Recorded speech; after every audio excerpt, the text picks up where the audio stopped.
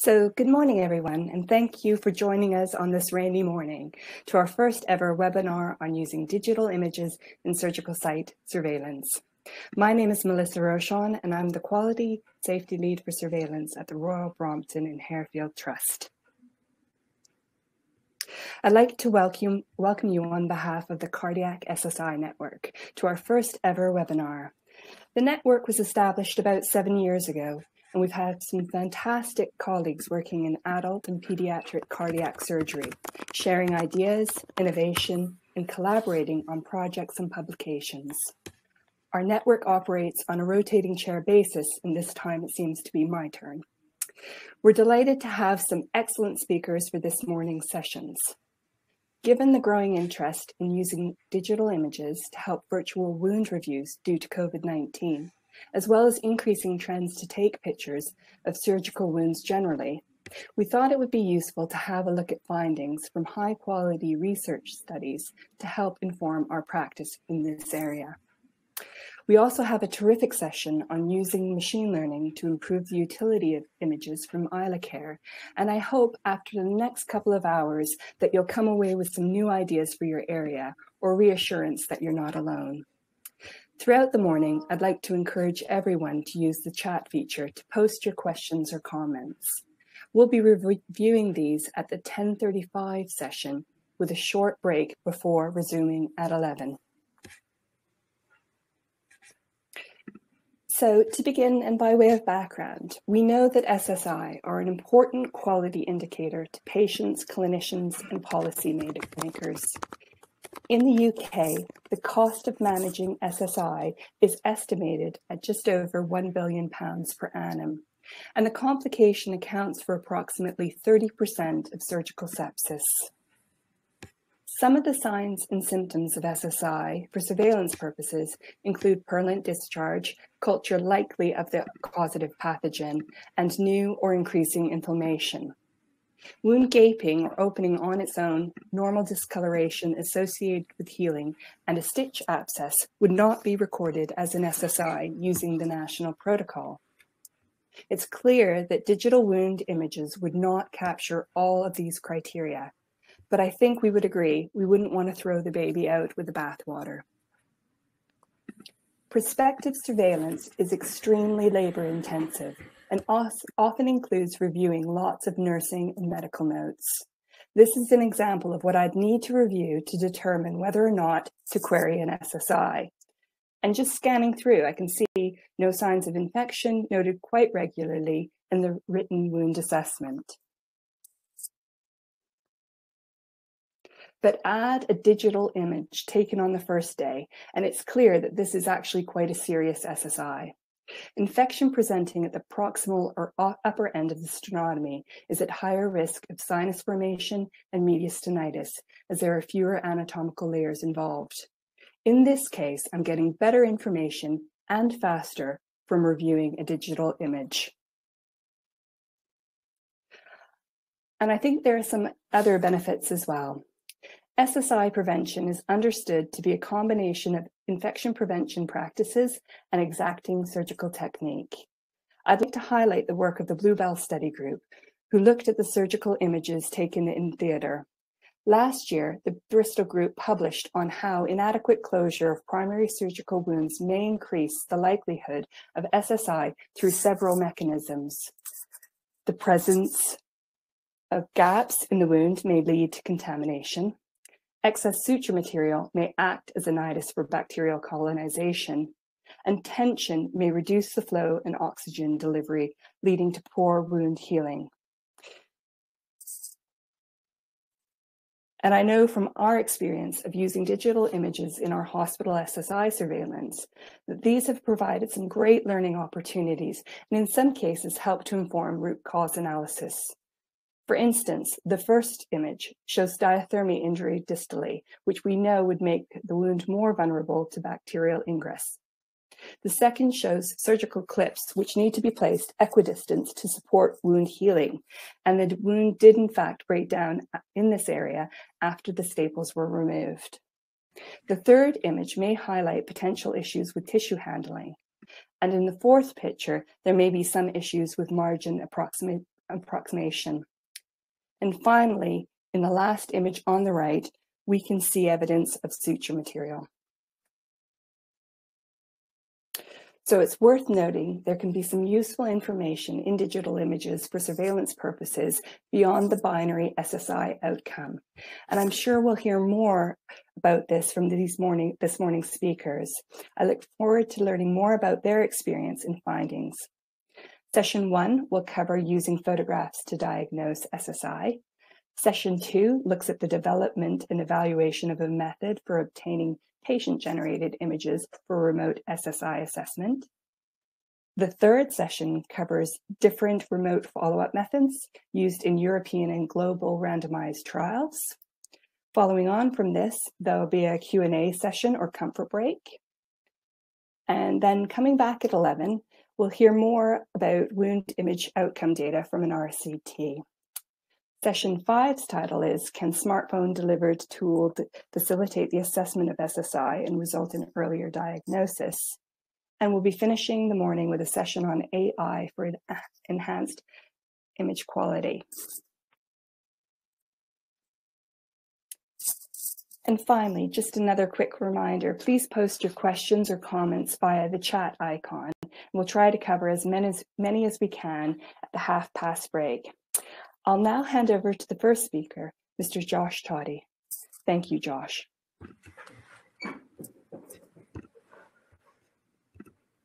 Uh, morning, everyone. My name is Josh. I'm a registrar in plastic surgery uh, in Hull, and in a former life, I was a research fellow in vascular surgery. Um, I've been asked to talk to you about the work that we did looking at surgical site infection um, and how we uh, began to use photographs to facilitate diagnosis of infection in one of our research trials. Um, I'm sure you'll hear this quite a lot today, but um, surgical site infection are amongst the most common healthcare infections. They were the second most common in the UK. Um, in previous studies, they are one of the most expensive hospital acquired infections in terms of the use of resources. Um, and rates vary depending on what procedure patients undergo. Um, but in vascular surgery, which is the cohort that we were looking at, uh, rates can be as high as 15 to 20%.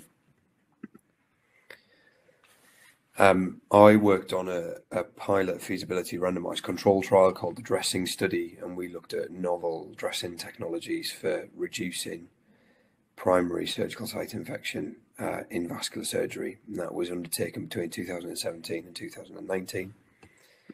Um, and that initial study uh, was a study of 144 patients randomized to two arms. Um, and this is the study flowchart from that study. And what's important to look at here is twofold. So, first of all, these were the patients who weren't able to take part in the study in the first place, and 34 of them said that they couldn't come back to follow up when we explained what the study would entail. Um, sorry, 34 said that it was too far to come back, and another six said that for other reasons they just wouldn't be able to come back. And then when we went through the study, we found that although um, 144 patients were randomized within the study, uh, we had about 23% of patients who didn't complete the study as per the protocol. And when we dived into that, there were a number of reasons, but um, what we found is that there were a number of barriers to them coming back to follow up. So there was the distance involved, there was the problems with the patients that we did operations on and the operations that we did. Um, and aside from getting patients back to see them in clinic, what we found is that what was available at the time was unreliable in diagnosing infection. Um, so to illustrate those points, this is the area that we cover where I work. So Hull is in the centre. Um, and although it's 30 miles north to Bridlington, which is the top end of our area, it's two hours by bus if you're asking patients who can't drive to come. And then on the south bank, um, it's again it's 30 miles to Grimsby, but it's two hours 25 minutes to get here on a bus. So you're asking patients to make a four or five hour round trip um, to take part in a research trial, which is one of the reasons we found a lot of patients either didn't enter the trial or weren't able to complete the trial. And then the second reason is that is vascular surgery itself. On the left, you've got an image of what you might consider a normal wound post-op uh, vascular bypass operation. And as you can see, there's quite a big morbidity involved in that.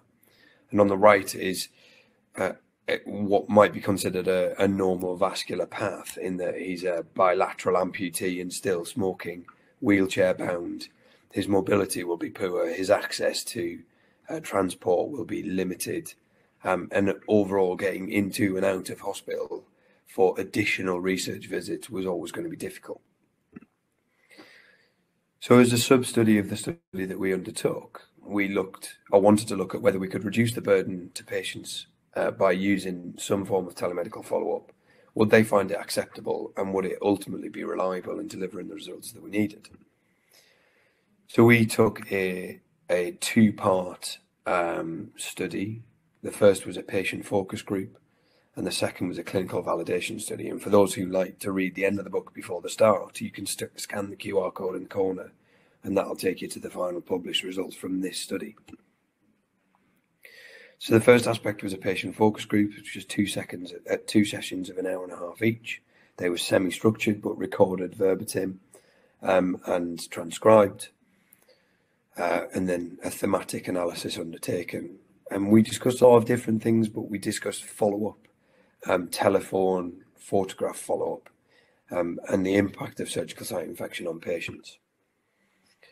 And then the clinical arm of the study uh, patients who came into the DRESSINg study, they attended a follow up, um, and then they had a two factor uh, review. They were reviewed in person by a blinded research nurse, and they also had a photograph taken of their wound, and those photographs were sub analysed by two reviewers who were separate to the study nurses who were also blind um, to the uh, dressing allocation as part of the main trial. And then all three of those scores were assessed for correlation. We invited nine people to take part in the focus group, and only three were able. Again, um, largely due to the fact that these were patients who were vasculopaths and had infections in the past, and getting, excuse me, to hospital for for additional visits was difficult. We were able to incentivize it so that some did come back. The mean age of patients was 70, and they all had experience of surgery, infection, and participating in research. And like I say, we covered a lot of topics, but picking out pertinent points. We asked them whether they would feel comfortable with sending a photo of their wound to a research doctor or a nurse. And they said that it wouldn't bother them. They said that if you took a photograph of their leg, it could be anyone's leg, and they weren't that concerned about their privacy. And again, they said if it doesn't, if they're not identifiable by their image, then it didn't really matter to them, and they understood the reasons for it being taken. And then, given the age and the demographic of the patients that we were uh, discussing this with, we asked whether they would feel technically savvy enough to do that. And we got a varied response. Some said, "Of course, I'd be able to do that. I do that all the time. I take pictures of the garden or the grandchildren, or or etc. etc. and send it to family members." Another said, Well, I might find it difficult, but I know people who will be able to help. So that didn't seem an issue for them either.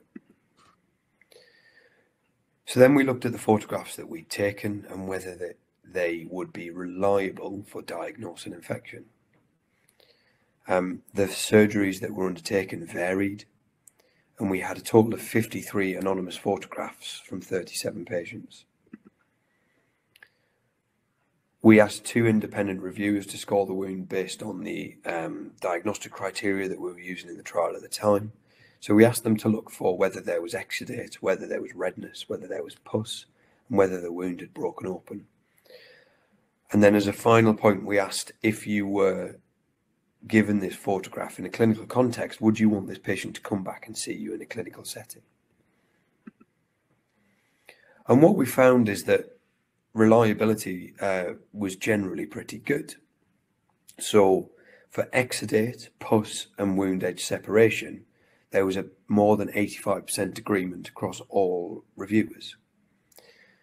Erythema was slightly less agreeable, but there was still more than 60% agreement. correlation coefficients for the absolute agreement, so the total score, was excellent. And when we asked, would you want to see this patient in person, the clinical photograph reviewers again correlated excellently. This obviously wasn't without its limitations. Um, as I showed you, the uh, erythema, whether the photograph reviewers felt that wounds were red, differed between the photographs and the clinical reviewers. And we wondered whether that was a difference in how colours were portrayed on screen, um, whether there was a problem with the white balance in photographs, or whether actually erythema is overdiagnosed when seen in person. It was a small study, there were only 57 images, and all of the photos in this study were taken by clinicians with a clinician's eye and knowing what clinicians would look for. Um, we would anticipate that there would be a difference in the caliber and quality of photographs that were coming from patients. And that was something that we weren't able to explore as part of this study, but we would look to explore in future studies. And this was undertaken as part of a clinical trial, and there would be quite a leap, but not a, not an unachievable leap in incorporating this into routine clinical practice. And I know that some of the speakers later on have begun to incorporate this into routine clinical practice. So, in summary, we found from our small study that patients may find telemedical assessment acceptable and they'd be willing to engage with it. That largely it was reliable, but there were definitely opportunities for further work into how we apply this in both research settings and clinical settings and how we expand it so that we are outside of a research capacity um, and being able to bring this into large, multi-centered, multinational research studies and into routine clinical practice. Um, thank you very much. That's all from me. Thank you, Josh. That was a great presentation, and I think there's some really interesting points to think about. I know you've been struggling with laryngitis over the last week, but that was that was great. So I'm now pleased to welcome Rhiannon as our next speaker. Rhiannon is a research fellow at the University of Bristol. Thank you, Melissa. I'll just get my slides uploaded and I hope everyone can hear me okay. Uh, so yeah, as Melissa said, my name is Rhiannon Macefield. I'm a research fellow from the University of Bristol and I work within the Centre for Surgical Research. And I'm going to talk to you about a study called Self-Taken Images of Surgical Wounds, um, which was looking at the development and the evaluation of a method for obtaining patient-generated images for um, remotely assessing SSI. And I just want to share with you what we learned from doing this study. There was lots of input from patients themselves. So I'm going to share what we learned and share the findings.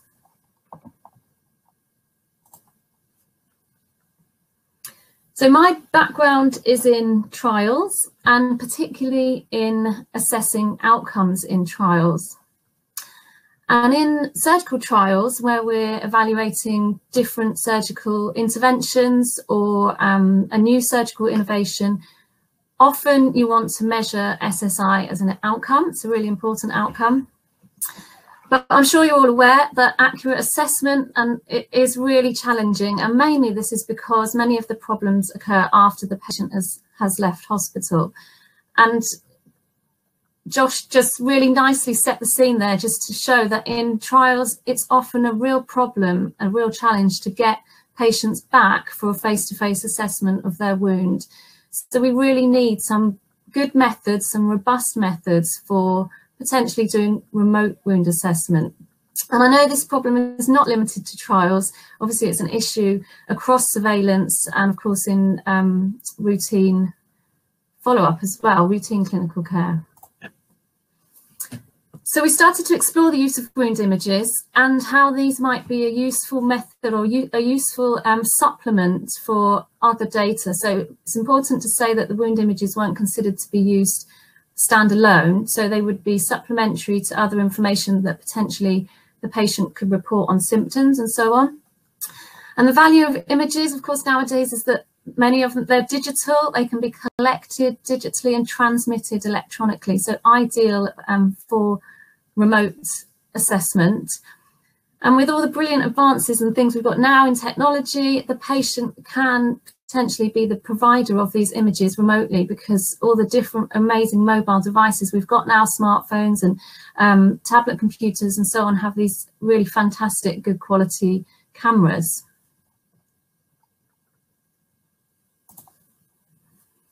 So we set up the selfie wound study now, SELFIE was an acronym for um, self-taken images of surgical wounds, and I'm going to come back to that title later because it did have some quite significant findings.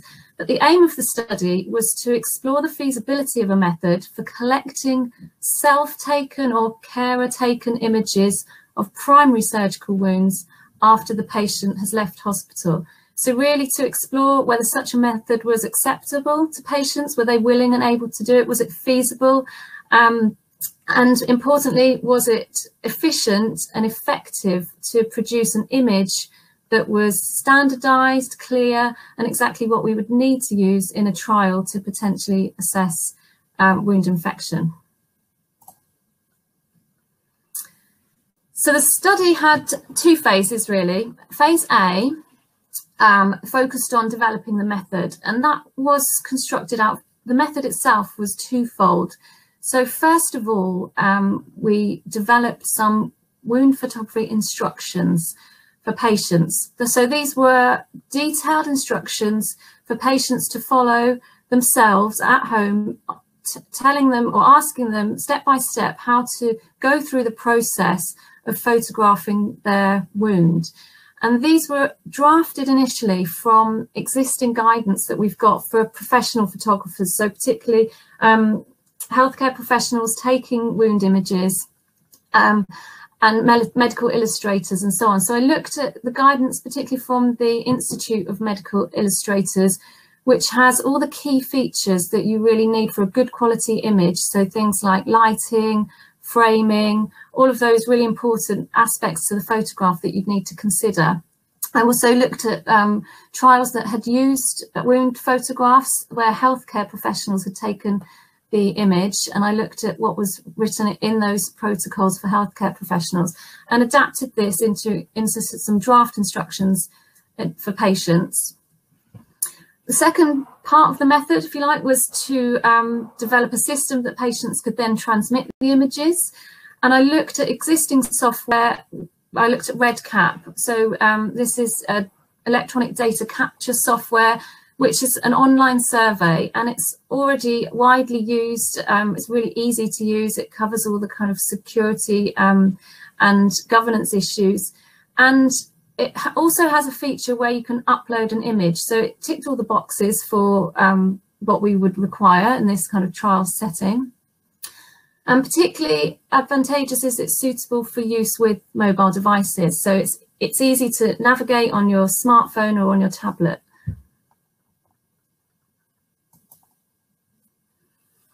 So having drafted the instructions and kind of set up this initial process using REDCap, I then undertook um, some pre-testing. Yes, joined the room. Fantastic. And um, pre-testing is done with patients, face-to-face interviews. Um, after they had had surgery in hospital, I went to the patients' homes and showed them the draft instructions, went through, um, sat with them while, while they attempted to, to follow the instructions and take a picture of their wound using their own device. And we, we I observed them as they were doing it. We discussed um, what was working, what was confusing, how things could be improved. And this was the real, the collaborative work. So patients were really uh, inputting into this phase of the study. And the 16 patients that took part were a broad range of ages, um, intentionally um, sampled. as well to have a broad range of kind of uh, savviness, as Josh called it, and experience with technology. So from, the, from this pre-testing um, phase, encouragingly, patients were really keen and supportive of providing their own images. And this reflects, again, what we've just heard from Josh. There were a few topics raised. Um, they weren't necessarily relevant to the people that I spoke to, but certainly something that they raised as maybe applicable to others going forward, especially the issue of squeamishness. So it might be that people aren't willing to take a picture of their own own wound for, for these kind of reasons.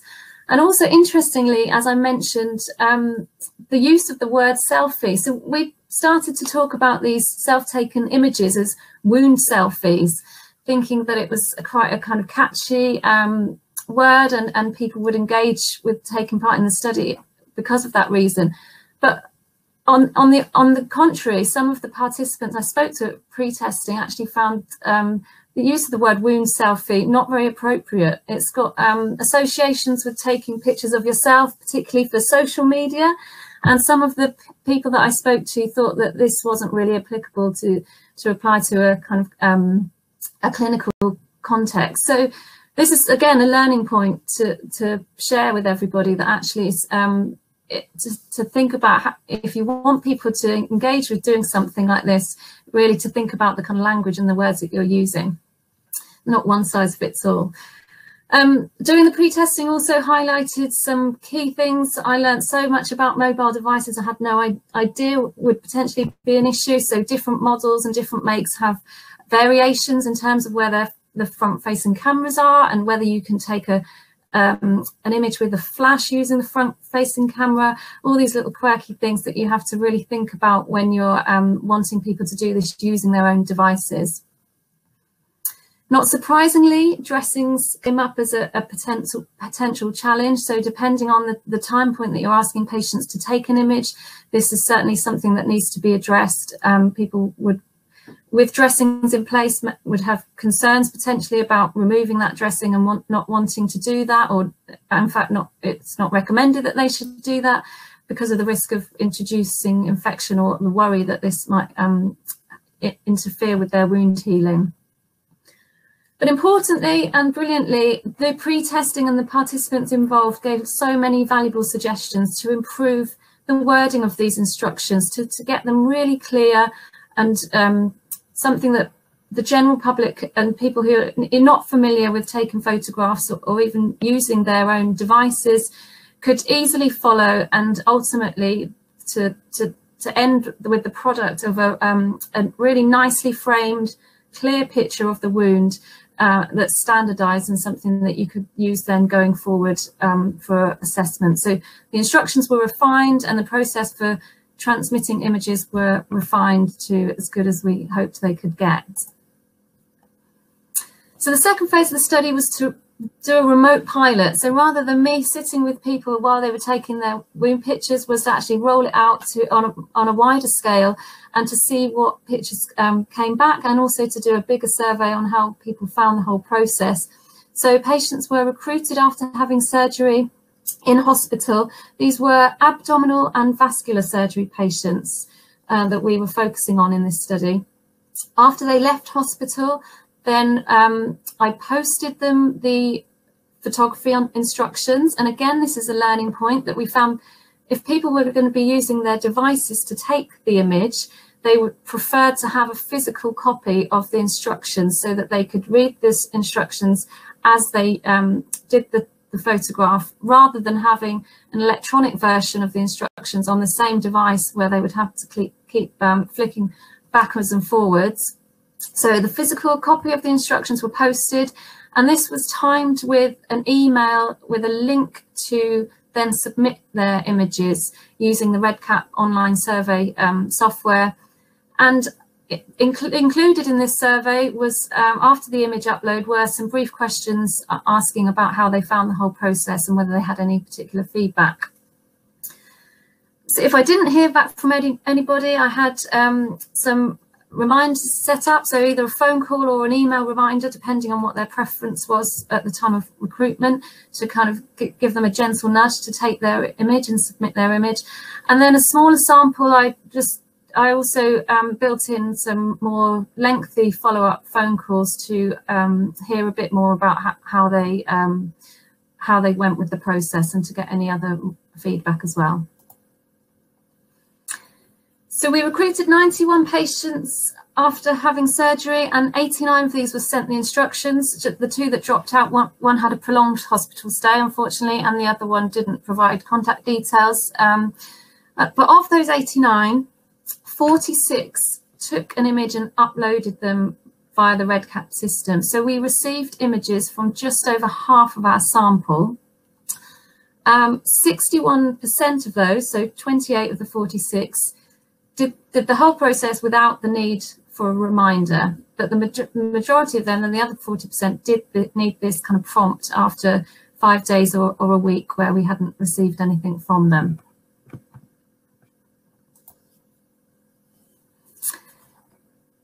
In that box there in the middle, the, the other blue box, you can see that four people did take an image so I know that they followed the first step, if you like. They they were able to photograph their wound, but they had issues uploading it using the the the software.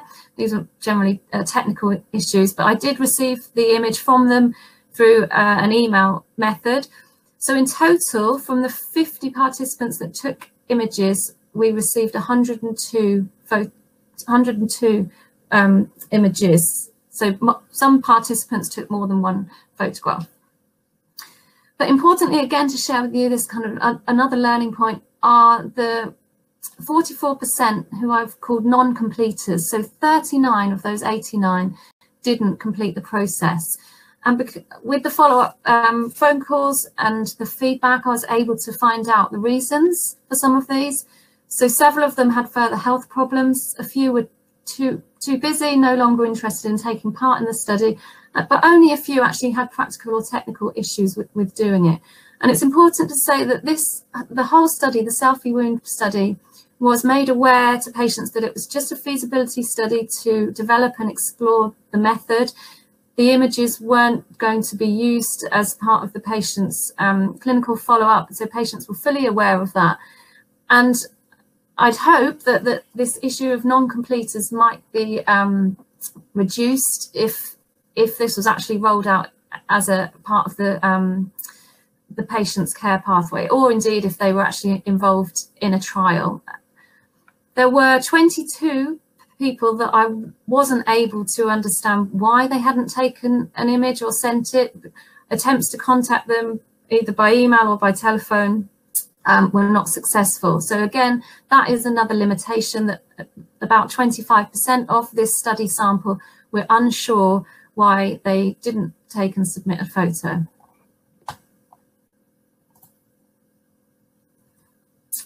So just to give you some brief demographics of those that did, there was about a 60-40 split of um, male and female. Almost all of the participants were white. And again, this is a limitation and something that will certainly need to be explored with further work. So to look at different ethnic groups. Um, about 60% of the participants had had elective surgery and just under 40 had had unplanned. And you can see from that bar chart there, um, there was quite a broad spread of ages. So it wasn't just all the younger ones that were um, taking part and able to take and upload the image. There was a nice spread, in fact, some going up into their 80s as well. And obviously, as a methodologist, I was interested in looking at the people that didn't um, complete. So I did some comparisons between the information that we had on the demographics of those that followed the whole method and uploaded their photo and those that didn't. And I found no differences in, in things like age or um, the type of surgery they'd had or even um, the, um, the time since they'd have their surgery. So there was nothing that I could identify that was potentially significant in terms of why some of these people hadn't completed the process. So as I said in the in the REDCap survey, after uploading images, we did embed a few questions asking people about how they found the whole process. So um, majority of them did it very quickly with very little issues. 40% took the image themselves, so the rest of them had asked somebody else to help within their household, which was absolutely fine. And, and in the instructions, we actually um, included that to say that it's okay to ask somebody to help take the photograph if it if it was easier. And most people uploaded the images on their own without any help. Some did need, again, a partner or a family member to help, but they managed to get over those issues um, and, and send the picture without a problem. And so here's a, a couple of uh, snapshots of, of the snapshots of the images that we received. And I was absolutely blown away actually um, by the quality of these pictures that people were taking just using their own devices. They were fantastically clear on the whole, really nicely framed. Um, and you could see that people had clearly followed the instructions and um, were able to take the standardized image as, as, we'd required and anticipated. So that was brilliant. We had, as I said, 102 images. So we did do a kind of quality assessment in a similar way that Josh had described. We asked um, three clinical assess assessors, so three surgical colleagues to review all the images on a, um, a digital screen independently. So they looked at them themselves um, with me sitting with, with them and they were assessing each one for its suitability potentially for assessing an SSI. So as I said, we weren't actually using these images in real time, but we were asking the clinical assessors to say, if you received this image, would you find it suitable for potentially assessing um, the wound for infection? And the majority of those images, so 85% were judged as sufficient by at least two of the assessors. Those that were insufficient. Were majority majority of those wounds were um, wounds that had included the belly button. So particularly wounds that were kind of semi-hidden in a body cavity.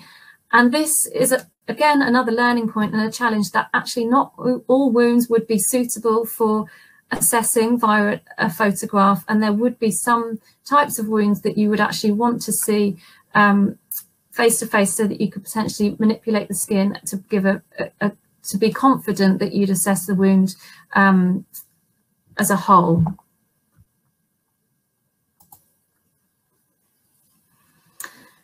So in summary, we've developed a simple method, some instructions and a fairly simple process for um, collecting digital images from patients after they've left hospital using their own device. It's possible to then obtain a really clear, patients can produce using this method, a clear standardized image of the wound that's suitable for um, clinical assessment. We found that um, reminders are potentially key. So again, this is something that will need to be um, considered if this method was uh, used going forward to, to build in a good reminder process to make sure that you get as, as good feedback, as good response rates as possible. We've now got these wound photography instructions that have been developed and pre-tested with input and work with patients that are ready for future use. As I said, these patients were only, it's only been tested so far with abdominal surgery and um, patients who've had abdominal surgery or vascular surgery. So this would have to be um, evaluated further with different patient groups have, having undergone different types of surgery where potentially the wounds are in, in different locations as well. And as I've gone through, there were some challenges that would need to be addressed taking this method forward. So again, the issue about dressing use and, and when you're asking patients to, to take an image of their wound and also to try and um, increase the response rates um, to, to, get to get better um, a, a higher number of images from as many patients as possible. So our next steps, the future work, future plans are to um, explore these images and using this method as a supplement to a patient-reported wound healing questionnaire that we have developed as part of a prior study called the Bluebelle Wound Healing Questionnaire, which asks patients to report their signs and symptoms um, for SSI and it's hoped that this image could be used as a supplement with the data from the um, Blue, Bluebelle Wound Healing Questionnaire to then be able to be used as a, an all-round method for use in trials um, to assess SSI as an outcome as an outcome. And that's it for me, just to acknowledge the study collaborators and also the great work of the surgical research teams to help recruit patients um, and also the funders of the study. Thank you. Thank you, Rhiannon. So similar to Josh's session, lots of important takeaways. I'd like to mention it's great to see your work influencing recommendations in the National Wound Care Strategy Program for using digital images, including the step-by-step -step guidance for patients and carers. For those of you interested in commenting on recommendations for digital images in wound care, I'll provide some extra um, information on this during the webinar wrap-up. So Josh and Rhiannon will be returning to help us answer some questions at the open session during the break. Please could you add your comments or questions by using the chat feature or icon. And also just to mention, this webinar will be recorded.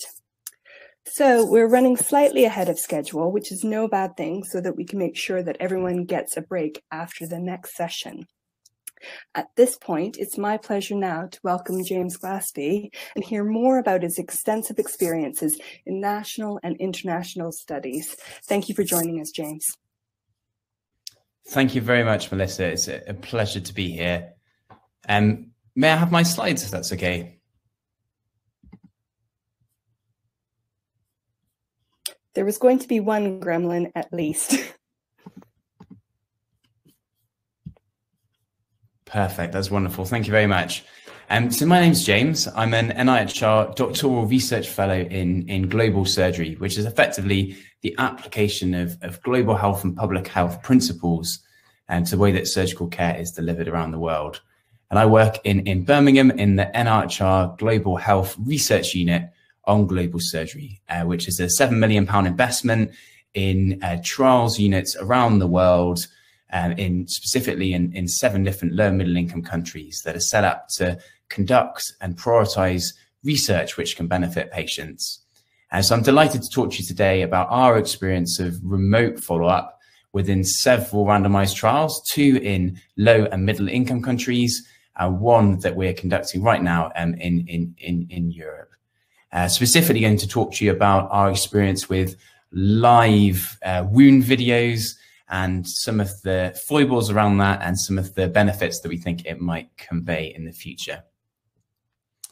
Um, so as, as we've heard already, uh, you know, SSI is a very common problem as an expensive and fairly disastrous for our patients.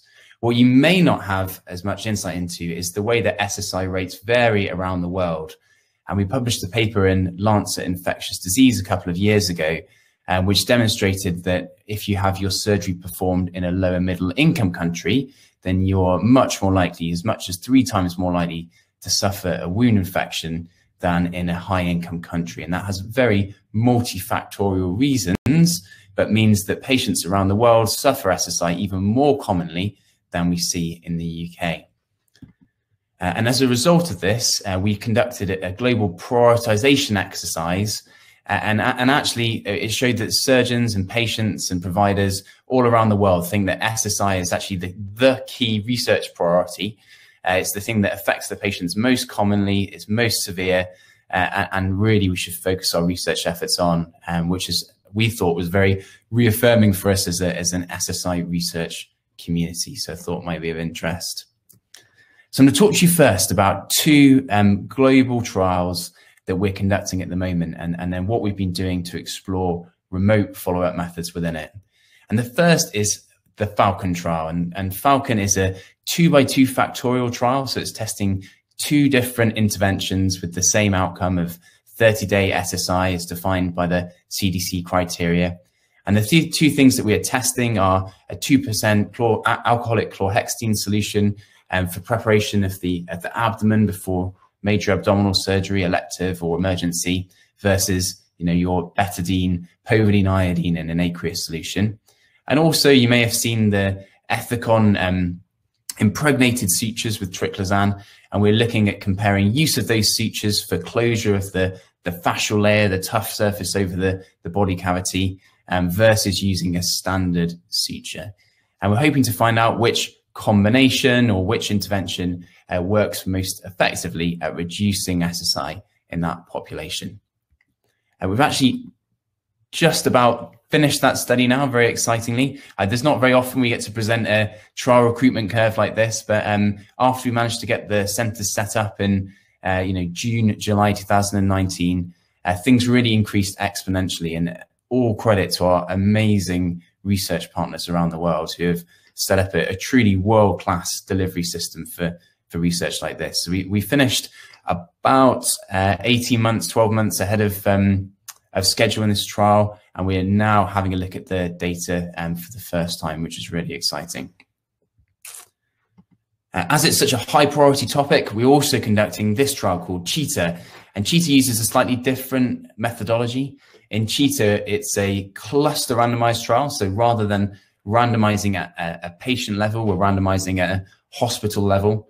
And we're looking at the practice of change of gloves and instruments at the time of fascial closure when we close that tough abdominal wall.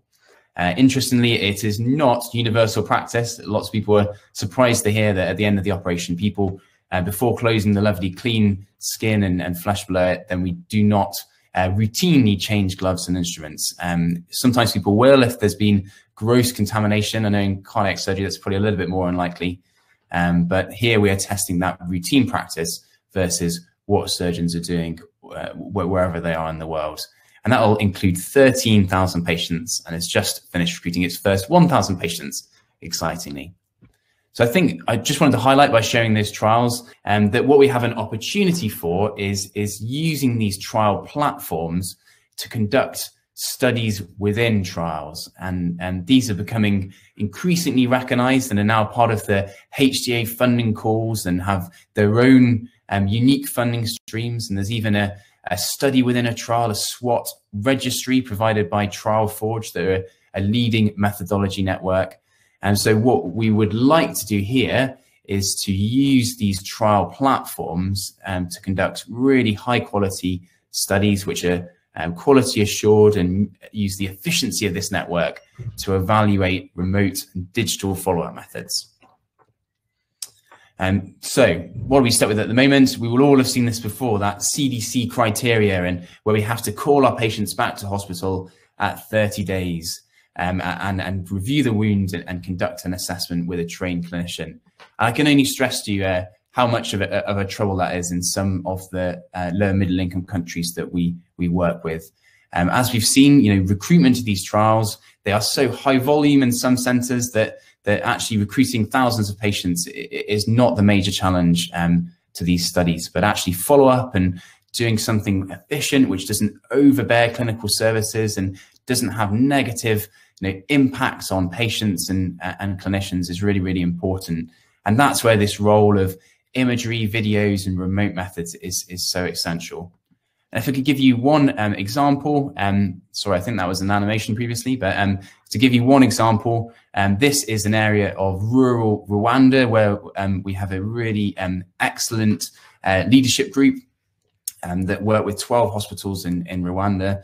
And for some patients, they travel around 12 to 14 hours to get to hospital for their surgery. And after their discharge, they will travel back by usually by like motorbike to their rural village community and actually coming back to hospital at 30 days when they've already risked catastrophic expenditure from their operation, you know, more time away from their family, more time out of work is really a disaster for them. Um, so more efficient, but equally as high quality methods are needed.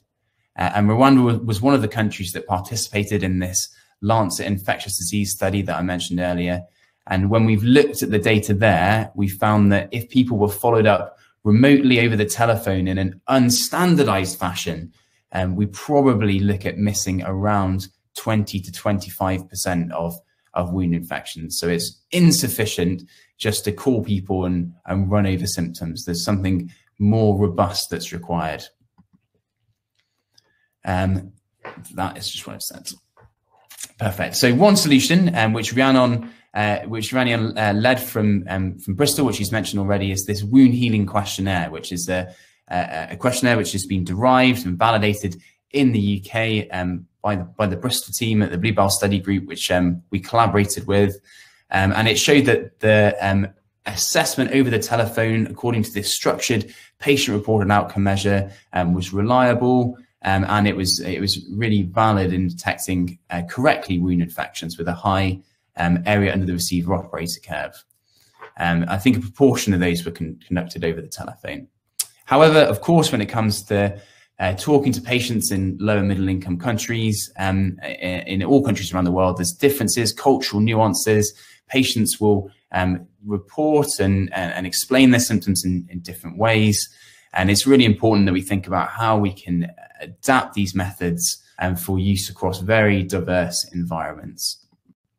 Um, so that's what we've started trying to do. Um, and the study we've called it is Talon. Uh, we have an animal-based theme for our global surgery trials, and this fitted nicely with that study within a trial model. Uh, and what this was hoping to look at is the feasibility and diagnostic accuracy of, of telephone administration of this patient-reported outcome measure. Um, we are early in that process. We have been doing uh, cross-cultural and cross-language adaptation according to validated frameworks and doing some psychometric analysis of that questionnaire as it's delivered over the telephone in different environments. Uh, sadly, due to COVID, we've struggled to talk to as many patients as we'd like to.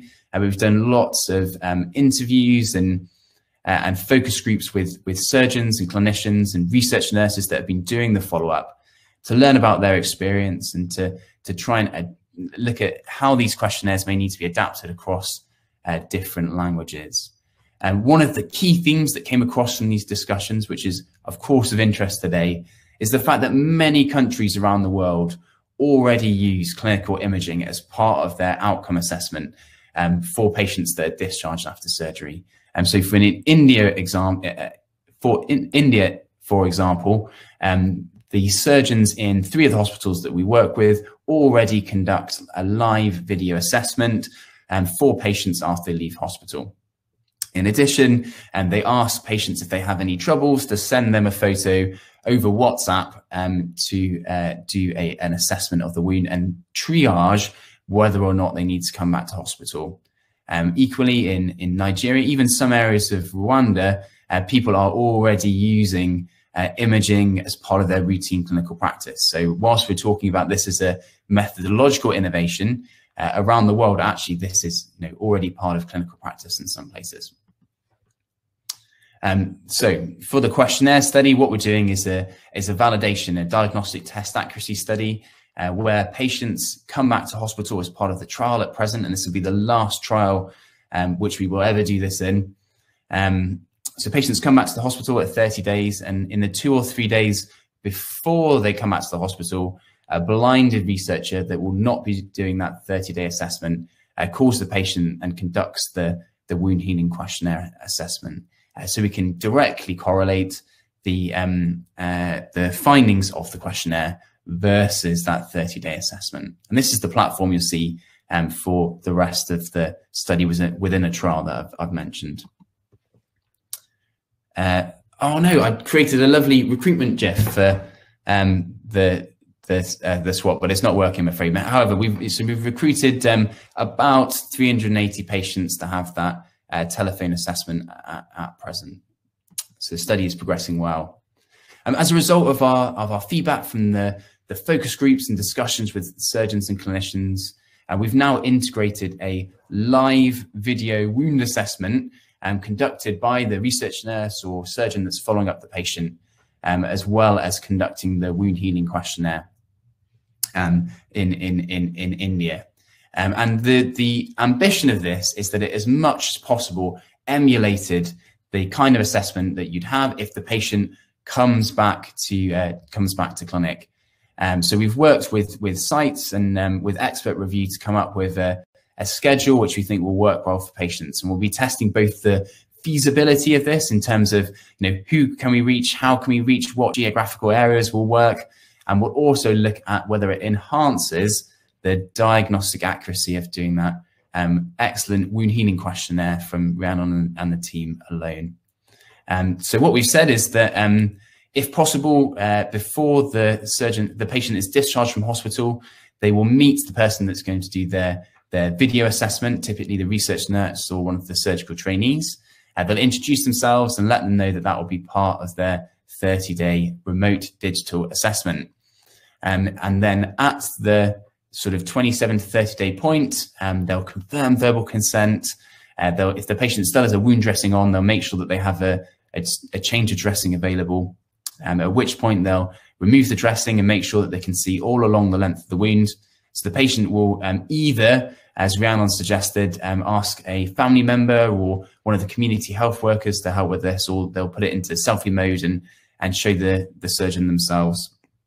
And they'll do a live video assessment where there's no transfer of digital information. This can be, duct, can be conducted pragmatically on whichever ever um, follow-up system people use locally.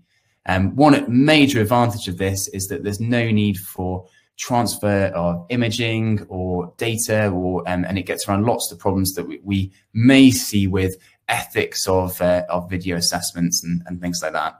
And so we do think this may be a useful model for people to consider going forwards. Um, one of the other problems we've encountered in the UK is that if you send a, a, photo of your wound to a surgeon, technically it would be part of their clinical record. So it should be attached to the clinical notes. Um, but with a live assessment, um, it allows that um, transfer of information to the surgeon uh, and interpretation, um, but without any transfer of digital data. Um, the second point is that um, we will ask the patient then to progress along the wound so that they can have a look at any areas of concern. You could even ask the patient to gently push on one area to see if you know, pus is expressed, for example, if there was an area of concern. So it gives that element of interactivity that you would get if a patient saw in clinic. Um, we've already trained our sites in the CDC criteria and how to assess wounds. They'll be using you know, that similar criteria that we've seen already um, to do that video assessment. Um, so this is perhaps the, the novel thing that we've um, been doing, that live video assessment of the wound. So in terms of a global perspective, um, there's this great tool that's been been created in the Bluebelle study that we're um, you know doing an international validation of. Uh, we're using these tr efficient trial-based platforms with our our global partners to um, uh, to be able to do that to a really high quality, robust um, uh, degree. And we're also introducing this live uh, video wound assessment to see how it may enhance the diagnostic accuracy um, of just using the questionnaire alone. Now, I've said that um, follow up is the major methodological problem um, for patients in low middle income settings. Uh, but what we found now, of course, is that follow up is, is our uh, major problem in, in the UK too. And because of COVID, you know, we cannot bring people ethically back to hospital to have their 30 day wound reviews and we've been forced to do everything over the telephone or with um, you know video or imaging systems. And so we have to adapt rapidly, and we have a duty to our patients, an ethical duty, um, to conduct trials to a high quality. And so in Rossini 2, um, which is an ongoing trial in the UK, uh, we've been looking at rapidly evaluating uh, digital follow-up to help support the robustness of the trial. Rossini 2, I think um, some of you may have heard of before if you've been part of the excellent Wound Research Network, and I'd highly recommend being part of that network if these are topics that interest you. Um, it is a, an adaptive, a multi-arm, multi-stage randomized trial of several interventions to reduce surgical site infection. So it uses a really clever design which allow us to find which package of interventions from a, a shopping list of things are most likely to reduce surgical site infection. And this is that design. Um, so some patients don't get any different than normal practice. Some patients may get one of those Ioban sticky incise drapes, which are impregnated with, with iodine to try and reduce um, contamination of the skin.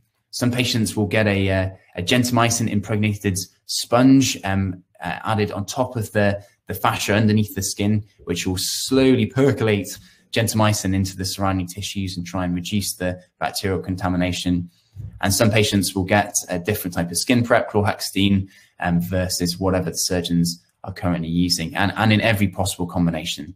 Um, so this is a really exciting trial design. I really like trial designs. So uh, if anyone's interested in talking about this afterwards, uh, uh, this is uh, Tom, Professor Tom Pinkney's trial, and it's a really exciting uh, new methodology. And um, so in Rossini 2, we have the problem that we don't have that gold standard 30 day um, face-to-face CDC assessment to compare our digital follow-up to. So we've had to be a bit um, innovative in what we do to compare a video assessment um, to whatever a, a, clinician sees when, when they go and assess the patient. Um, so our other follow-up point within the trial, other than 30 days, is at day seven or, or discharge, um, whichever comes sooner. Um, so what we've had to do is use that follow-up point in order to try and validate um, a live video assessment. Um, so in a similar way to that Talon study, which I showed, showed you earlier, uh, patients will be um, recruited to Rossini 2 and also give consent for video follow-up. Um, and then before they leave hospital, a blinded researcher that won't be doing the discharge review um, will ask the patient to do a video follow-up while they're on the ward with us, so using their mobile phone on the ward, um, and do a CDC type assessment over video, asking patients the questions they would do if they came back in person, uh, and also having a look at the wound from top to bottom, as we showed according to that protocol previously. We'll have the other blinded reviewer then do the um, the seven day uh, or discharge assessment, um, and then we'll be able to compare the diagnostic accuracy of the video um, to what was seen by the person on the ward. Uh, so it's slightly imperfect because it's not that 30 day time point. Um, and we know at least a third or so of uh, wound infections happen after people leave hospital. And but for us, this represents an opportunity for that study within a trial model and to do a really robust validation study. Um, and we'll also look at some of the mechanistics. I know I saw Josh was looking at some of the features that could be detected over video. And we'll be doing a, a more in-depth exploration of the kind of features that can and can't be seen over video within this study. Um, so sadly, no results to show for you for either of those yet, but hopefully some excitement around um, some work that we will be presenting back to this community um, in the future. Um, I think from a COVID perspective, you know, we, we, all have to urgently adapt our methods for research. And hopefully we've, we've shown that there is um, some innovative models that we can use for rapid evaluation of these techniques. Um, we like this idea of live video because it gets around that transfer of information problem. Um, so we hope that that perhaps is picked up in, in other studies and be delighted to talk to anyone um, that has um, any experience of that already or would like to use that within future research. And um, more and more within our platform of trials, we'll keep integrating these kind of methodological uh, SWAT study within a trial because we think it provides a really cool opportunity to explore more around wound, wound research.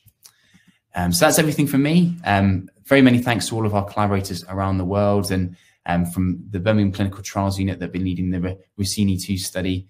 Um, and be delighted to talk to anyone that's interested more in, in these methods um, and look forward to reporting back shortly. Thanks very much again, Melissa, for inviting me to speak today. Thank you, James. Some really, really fantastic works. And I think it's quite right that we need to ensure data collection for SSI isn't overly burdensome, either for patients or clinicians. And also in some areas, we need to consider new approaches such as live video, especially in the current climate. I also echo your sentiments, including the relative priority of SSI prevention. Yesterday, I participated in the James Lind Alliance National Research Program, and SSI priorities was one of the 10 national priorities set for cardiac surgery. So in the next section, we're going to be setting up for some questions. If you haven't already posted on the chat, please do. You can use that icon to ask questions or make comments. Uh, give us a few minutes while we welcome Josh and Rhiannon back to help answer some questions. And I think, thank you. There's Rhiannon already. Great. Great. Welcome. And we'll just wait for Josh to return. There'll be a few short questions. And then we will make sure everyone gets a comfort break as well. Josh might have found his way over to get a cappuccino or something similar. That was a great talk, James. It's really, really amazing what you've been doing so quickly as well. And um, all that work overseas is brilliant.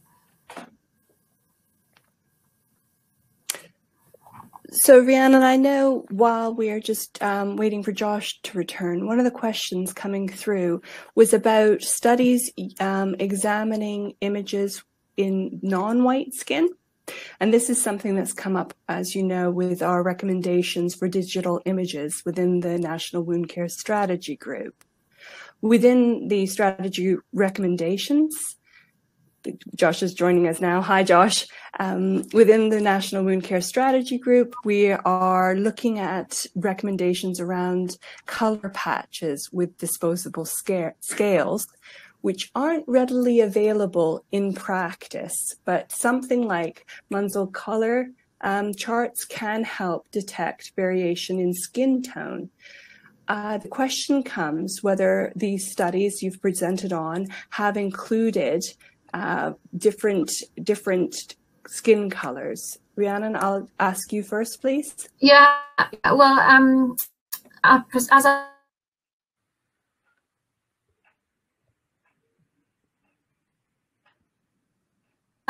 British, so very little variation, and that was not intentional. I mean, we, we aim to recruit a, a huge spread of all different demographics, uh, ages, and, and different wound locations, and also ethnicity was one of the aims. But obviously, in the in the sample that accepted or were approached, it wasn't a, a broad representation of, at all, and that certainly we want to investigate more, and we would need to.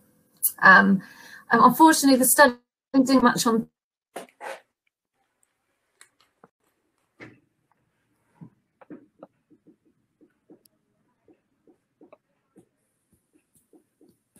Sorry, Rhiannon, I'm having a bit of problem hearing you. You seem to have frozen. Oh.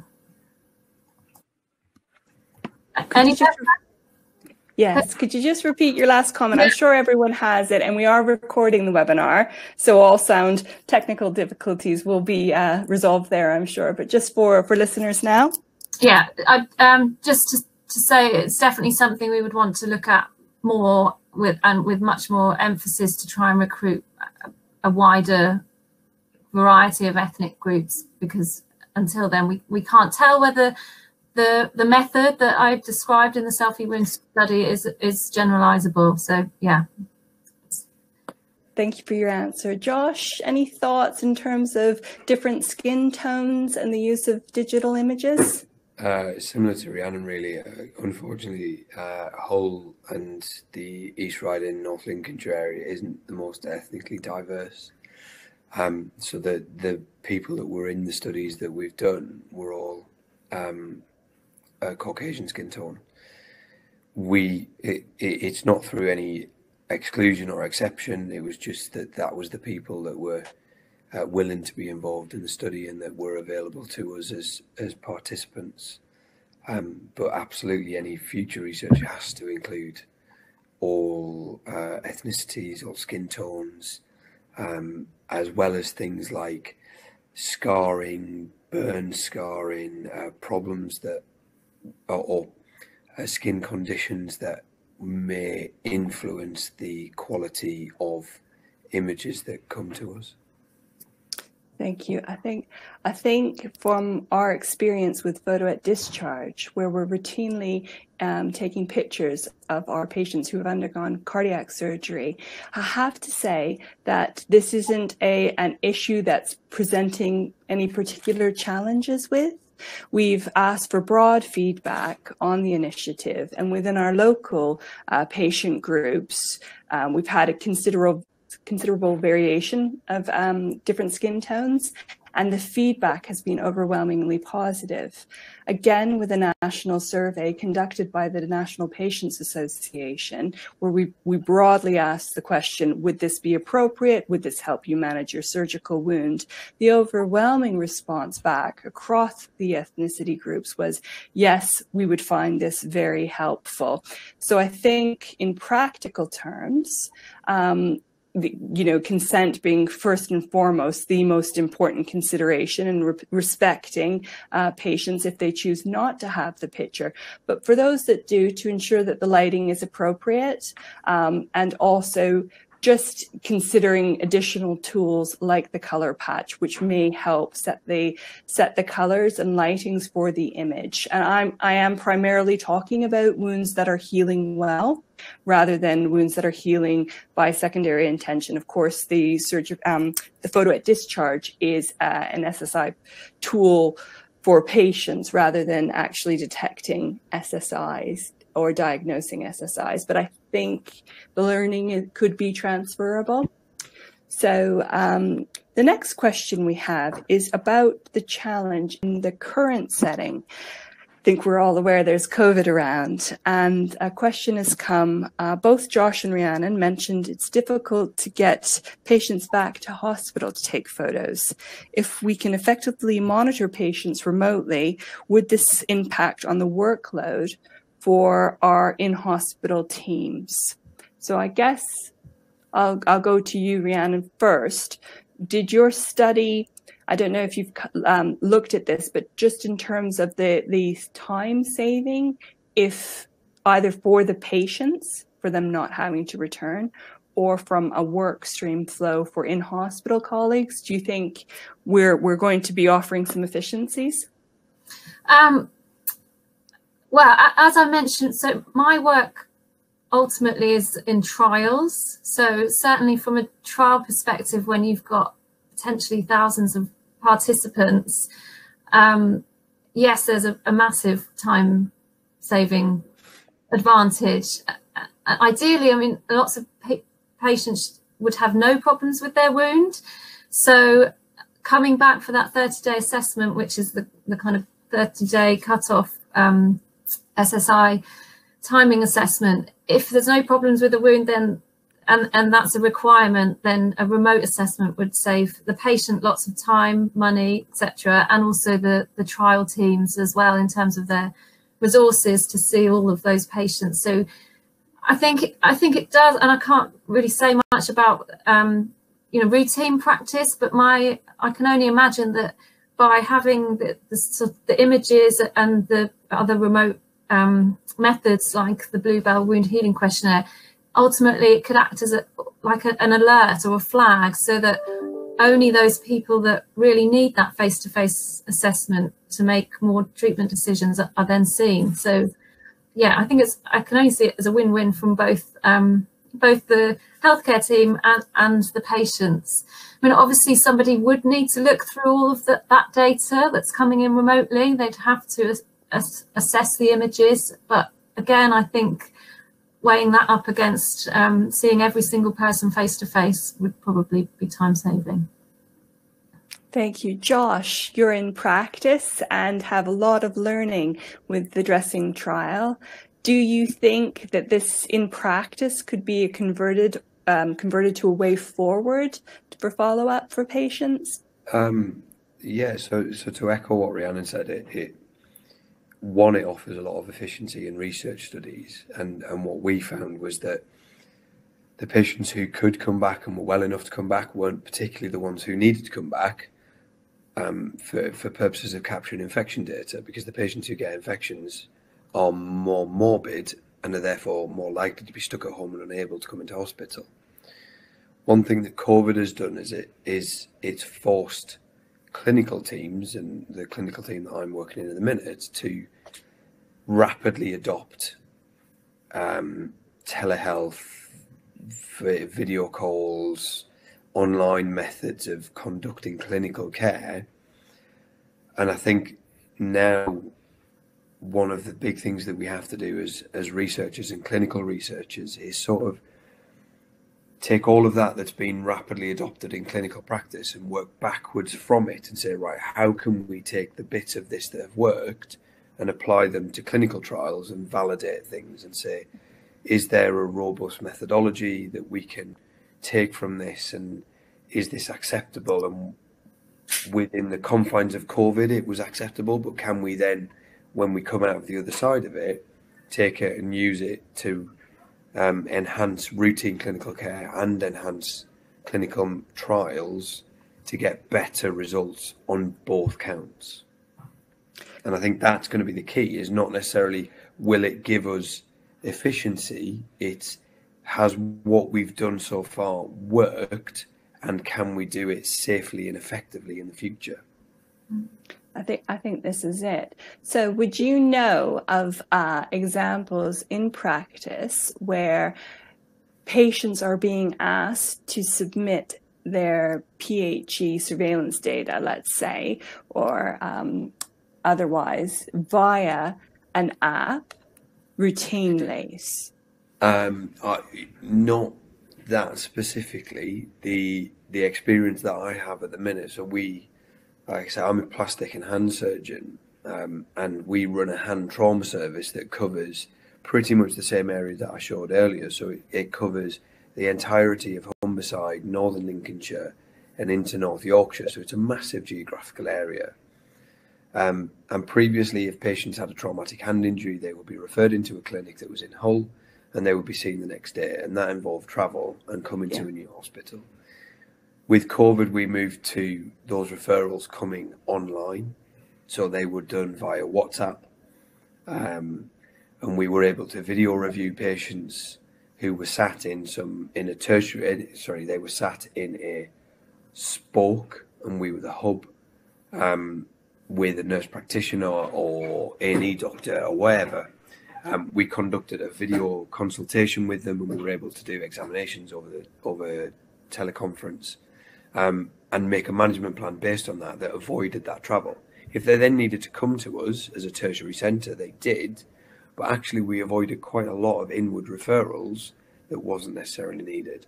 So that's the experience that I have of it. I'm not entirely certain about submitting public health surveillance data or or post discharge follow up. But the experience that I have is is one of efficiency savings in that fashion. Thank you. Just, the other thing to add, oh, sorry, Melissa. Okay. The other thing to add just before we move on to a different topic is, of course, if these methods are used in real time, then potentially things can be dealt with a lot quicker. So ultimately, nipping problems in the bud before they then get worse. And of course, that's you know that's massively efficient from all, from everyone, all stakeholders' perspectives. And the patients I spoke to liked that fact that it was the kind of it's a, a reassurance method as well. You know, if, if you think you've got a problem, you can act on it quite quickly before it gets worse. I think you made a great point earlier. Who is going to review all these images? And certainly, experiences coming out of the US is, in theory, the the receipt of um, wound images is terrific. Gives the patient sort of that immediate um, feedback, or at least they would hope to have that. But in reality, as you again mentioned, there's a substantial number of patients who would be sending in images. And what we don't want to do is have daily images submitted with the expectation that somebody was actually going to comment and, and feedback. Mm-hmm. I, Josh, can I just ask you about the um, the virtual MDTs because I think it's quite timely in this in these days did you um, review using video links? You mentioned WhatsApp. Did you also request um, images or like still images, standalone images?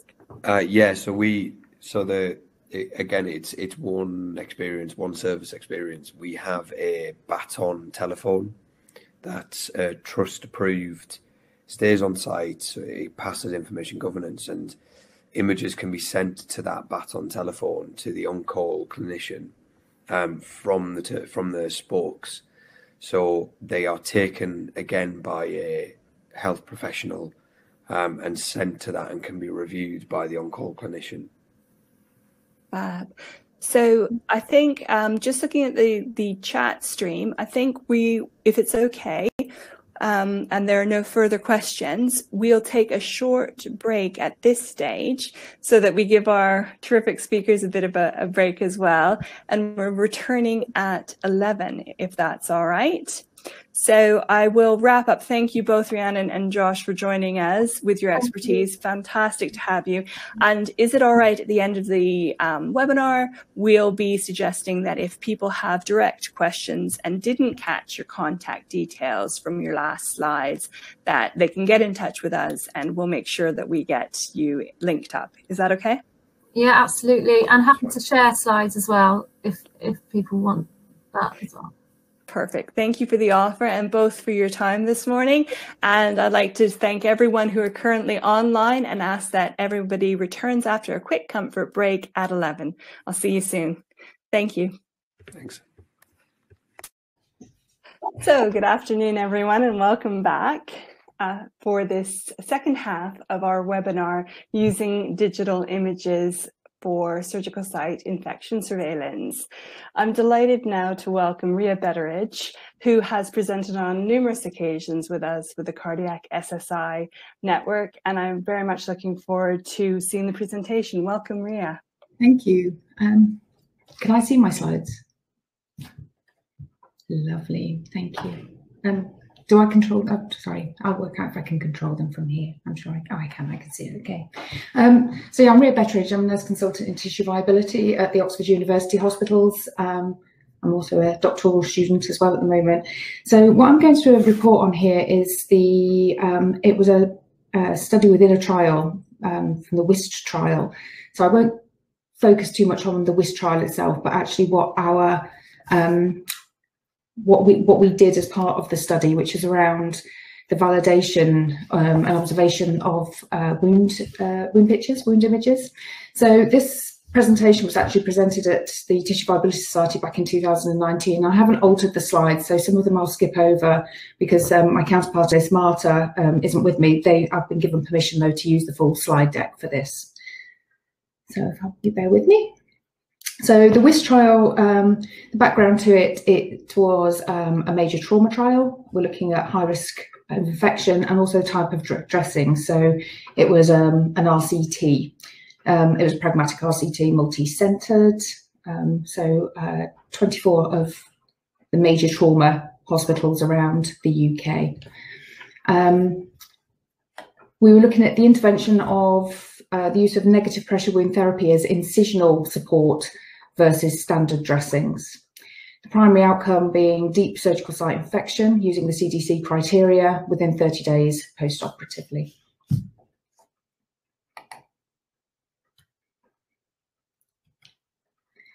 So pre this presentation, say, we'll just describe the protocol that we use for the assessment of the post-operative, uh, post-operative assessment of the uh, wound images.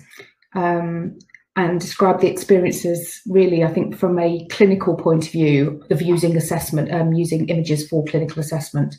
So the two people involved in the um, assessment of the images was myself and one of my senior team, um, and we're from an orthopedics and trauma background as well. So I'll just give you some context to our position in this as well.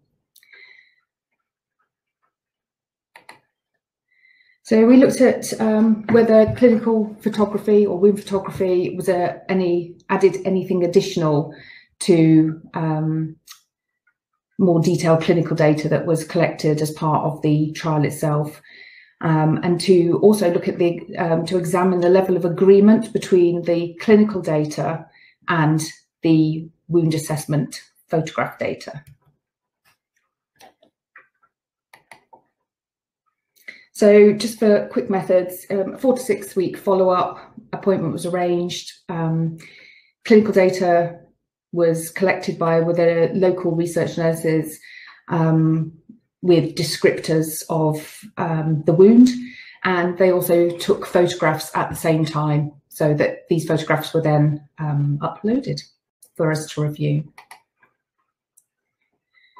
The um, we look for two things on the images. We look for surgical site infection or evidence of surgical site infection and also um, wound healing. We we work with definitions um, for this where we had to go through, we went through a pilot and then redefined the definitions based on um, some criteria, but I'll explain those further along in the in this in this section. So, oh, just to point out, we were independent of the core trial itself, so we we weren't part of the um, the full trial team. So we looked at so what we were given originally was whether to when looking at the images whether we deemed them to be not infected or infected, um, with some key characteristics that we were given as part of that. And we could do optional criteria. And for wound assessment, um, whether the edges were closed, if it had a small scab on the line, it was classed as healed, and if it was a scab with erythema, we were we were to put it down as non-healed. Um, redness around the wound also was a potential SSI outcome.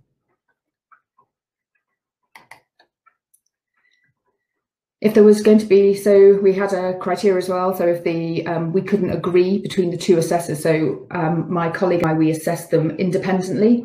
We didn't sit together and um, assess the wounds.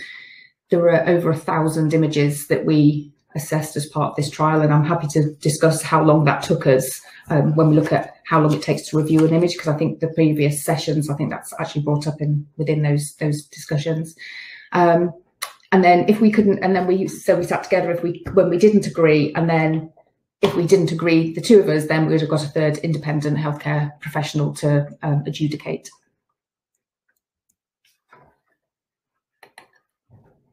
So in total, there were 1,123 participants, that's 72.6% of all participants. Um, and the reasons that the, the number isn't than the total number is um, was mainly due to um, either people not attending follow up for the images to be taken or patients who declined to have their photographs um, used for as part of the trial. There were some poor quality images that we disregarded, um, photographs that were out of image, um, or ones where it was unclear which which wounds we, we were actually assessing because some of them the patients had three or four different wounds, so that made it a little bit more difficult. So we assessed 1,108 images um, for SSI and 1,113 for wound healing.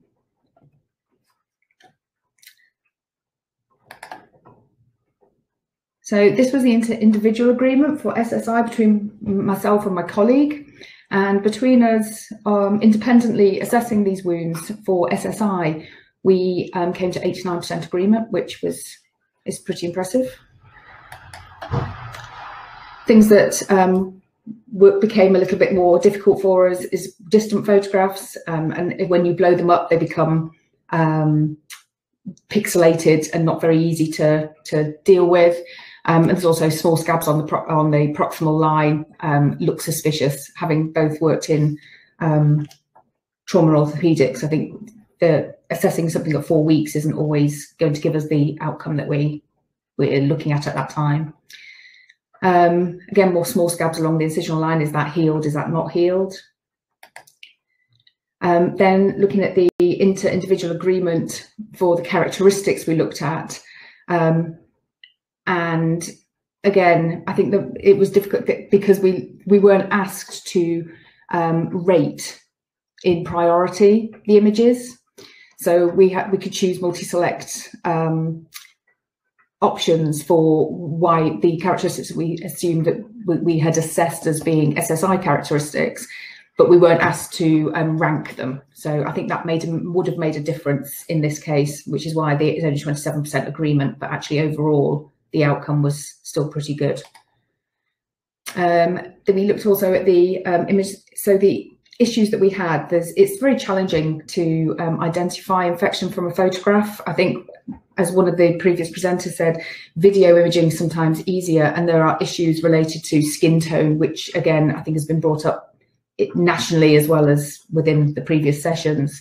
Um, erythema is particularly difficult to see in darker pigmented skin tones. Um, assessing two dimensional images can be really quite testing because um, most of us like to actually touch wounds to have a look, see what's actually going on, and seeing patients' reaction and response to that, um, and determining the um, different types of surgical site infection as well. We weren't asked to look at deep organ space because deep wounds because organ space isn't actually a, an indicator in orthopedic and trauma patients. So when we look at then into the individual agreement for wound healing, again, it was 87%, which is again pretty, pretty good. So things that we were asked to assess, the clips are in still in, in place. We can't assess that as being wound healed. The, the clips are still there. Um, small scabs on the incisional line, is that healed or not completely healed? And so the second assessment, the final outcome, overall, um, we found that we assessed 12% as being infected, 88% being non-infected. And wound healing, 15% not healed, 85% healed.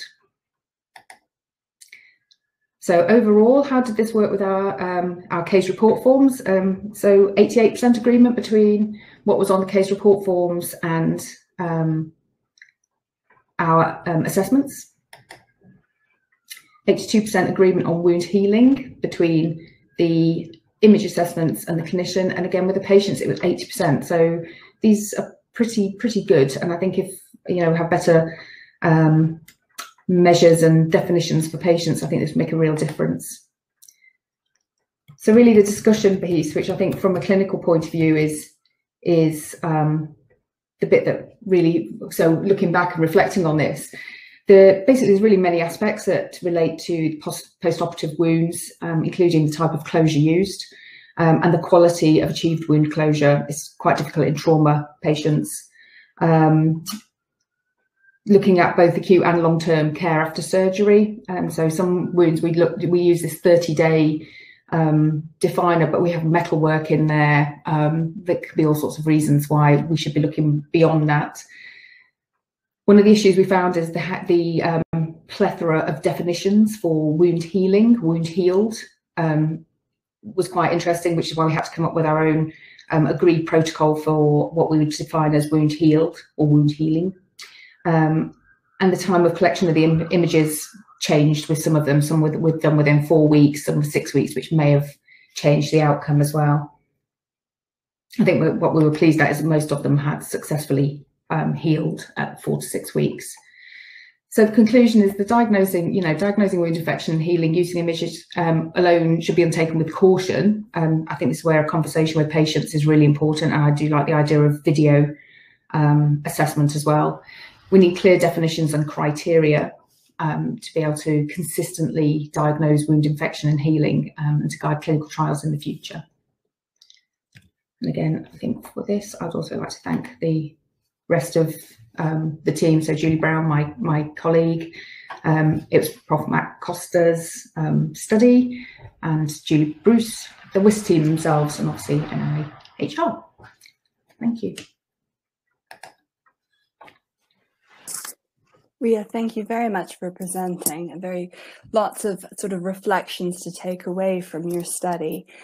I hope that it's drier in your neck of the woods than it is in mine. Thank you very much for your time. And I look forward now to welcoming Kenny McLean, who is presenting today on findings from the TWiST study. Welcome, Kenny. Brilliant. Thanks so much.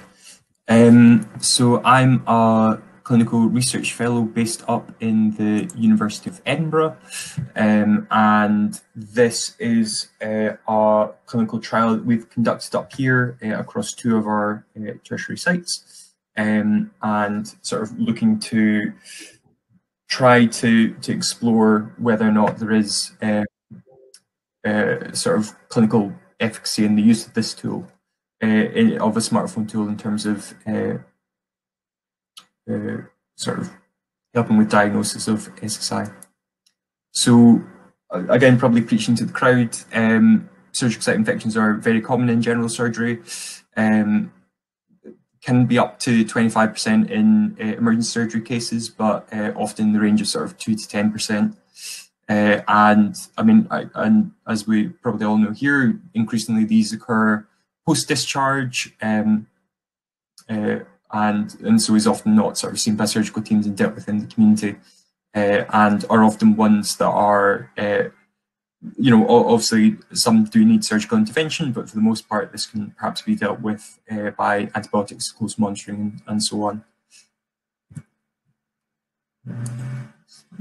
Um, so ideally, just in terms of, I guess, pathways that we want might want patients to kind of follow down uh, is that if there's sort of no issues uh, with their, their wounds, then uh, we generally want just standard follow-up. Um, occasionally, patients will have concerns with their wounds, even if there's not perhaps presence of SSI. There's plenty of other things that can uh, happen with wounds. Uh, so in that case, is uh, perhaps going to community services for that. Um, uh, for what might be classed as minor superficial SSI, we perhaps you know want those to be seen by community services. Perhaps patients might not be able to access that particularly at the moment. So uh, whether or not they would uh, go to sort of more emergency care to then go back to community services uh, with a bit more um, input. Uh, and then for perhaps more major SSI, which might require uh, emergency care, IV antibiotics, operative intervention, and so on, um, we ideally want them to go straight to uh, where they can receive that care, so hospital or, or surgical teams. Uh, and uh, perhaps you know patients may end up going to their GP first of all, who then refer them on. Uh, but ideally, you'd want them to go sort of directly to where they need to go. So again, probably preaching to the choir. There's you know huge scope for telemedicine. there's I think the most recent estimate was something about 80% of uh, adults in the UK currently have access to smartphone technology uh, and a third use it as their sort of primary device to connect into the internet. So um, obviously huge scope to, to use this for uh, not just, I guess, within trials, but for sort of routine care, uh, integrating sort of digital health into, into post-operative care. So, as I say, this uh, clinical trial uh, is basically looking at trying to see whether a smartphone delivered tool can help with assessment of surgical site infection and ideally result in some sort of earlier treatment or earlier diagnosis. Uh, and it was a, a, trial aimed to recruit uh, 500 patients across two tertiary hospitals uh, across Edinburgh. Um, so that uh, started in 2016 and it uh, finished just before COVID started, fortunately. Uh, so we're very fortunate in that. so the kind of broad overview of it is it's a one-to-one randomization uh, with half the patients going towards the intervention arm where uh, they receive the smartphone delivered uh, wound questionnaire. So just some very basic prompts uh, based around the CDC uh, uh, criteria and also have an opportunity to upload images as well. And similar to one of the previous presentations, we used the REDCap platform for that. Um, and patients throughout the 30 day period would have access to that uh, tool where they could complete it basically any point they had concerns with their wounds, uh, but also with uh, some routine follow up being asked at days 3, 7, and 15, just to make sure that people are ideally using the tool and, and not just not recognizing concerns with their own wounds and then letting it develop further. and uh, the alternative was just standard post-operative care, so uh, no other difference from usual. And uh, both groups received tele telephone follow-up at 30 days, uh, along with a patient experience questionnaire. So uh, the intervention itself, just to give a wee bit more information. So they would submit their, their PROM information, they would submit their wound image, and that would be reviewed by a clinician, so a, a sort of senior surgeon, consultant surgeon, and uh, they would classify this according to three stages of risk, just less about trying to diagnose the SSI perhaps by the image or, or PROMs alone, but just trying to risk stratify so they go to uh, where would be most appropriate for diagnosis and treatment.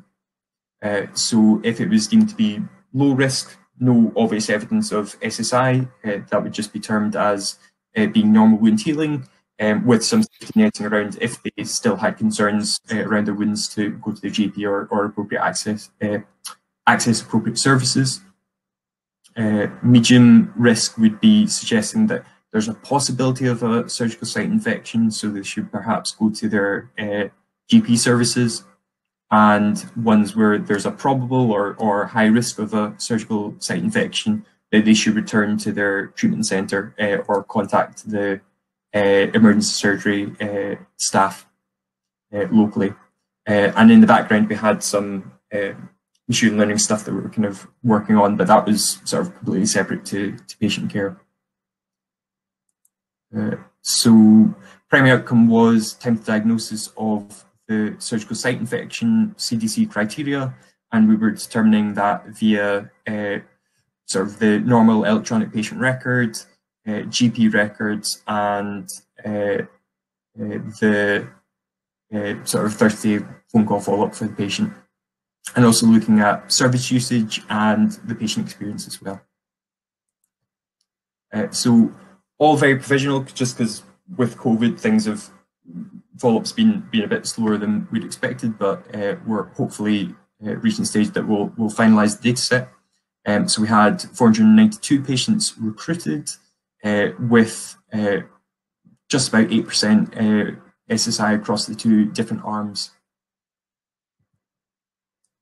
Uh, and in terms of did it actually reduce the time to diagnosis of the wound infections?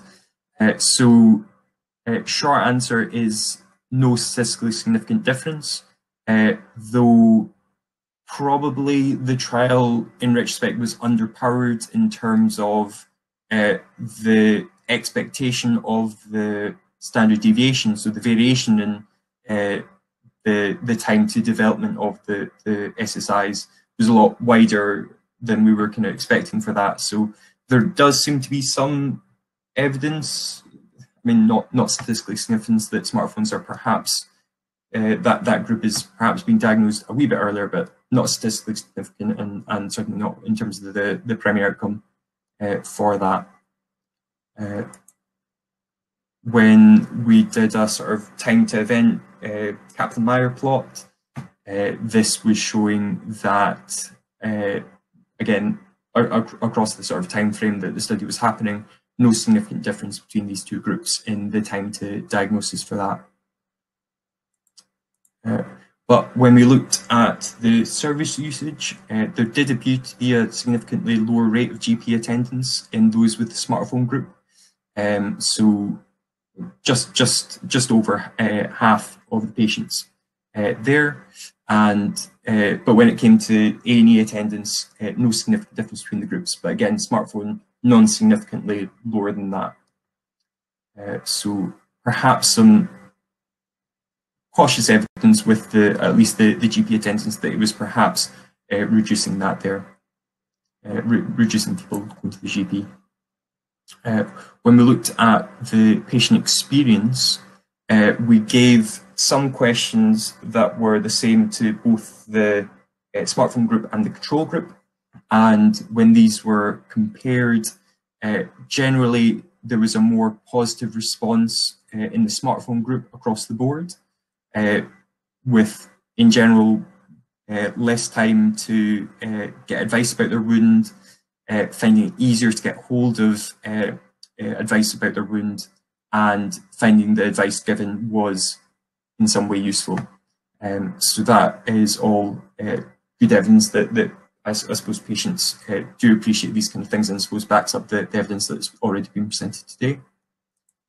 Uh, and when we went to look at the questions that have just been asked to the smartphone group in terms of the actual use of the tool, again, very largely positive uh, experience from that intervention.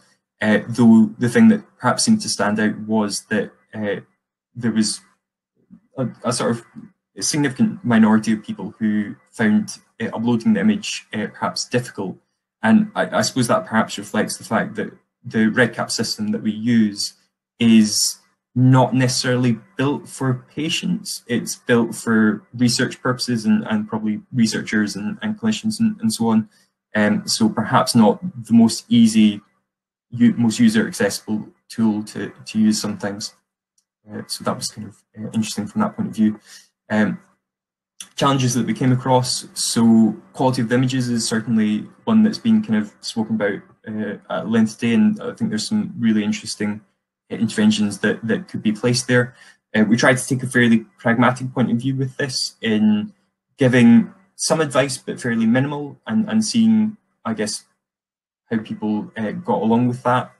Um, so for the most part, I think no necessarily uh, major issues with it. though There, were some uh, people that had to have messages to, to sort of clarify, can you retake that uh, image? Um, and I, suppose it's designing a way that is going to minimize the burden to patients and the expertise required to upload the most perfect image with what is deliverable and, and easy for them to, to do.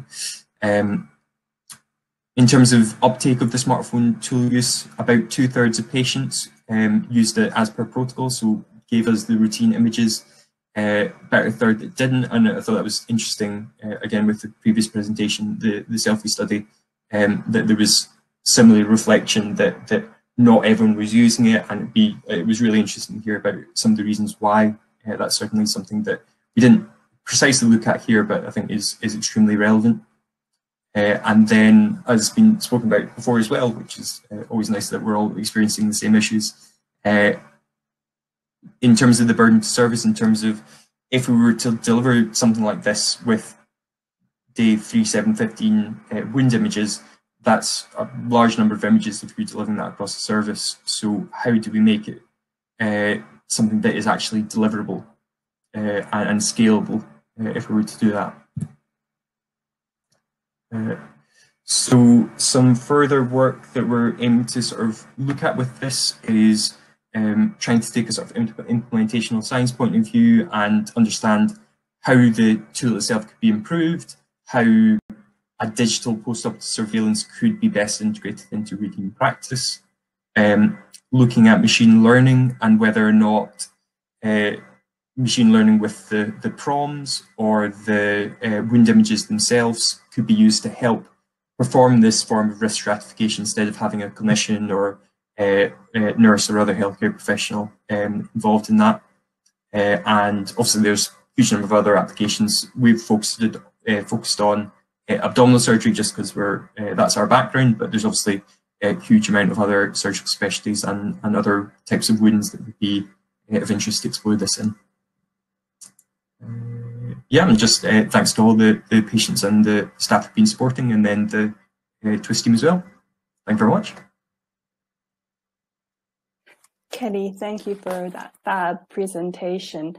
Um, again, I'd like to remind colleagues who are on the webinar that they can leave comments via the chat and we'll make sure um, to link you up after this webinar. So if you have a question that's directed at any of our speakers in particular, please post it on the right hand side via the chat uh, with your name and email details and we'll make sure that we follow up and, and link up the uh, relevant colleagues.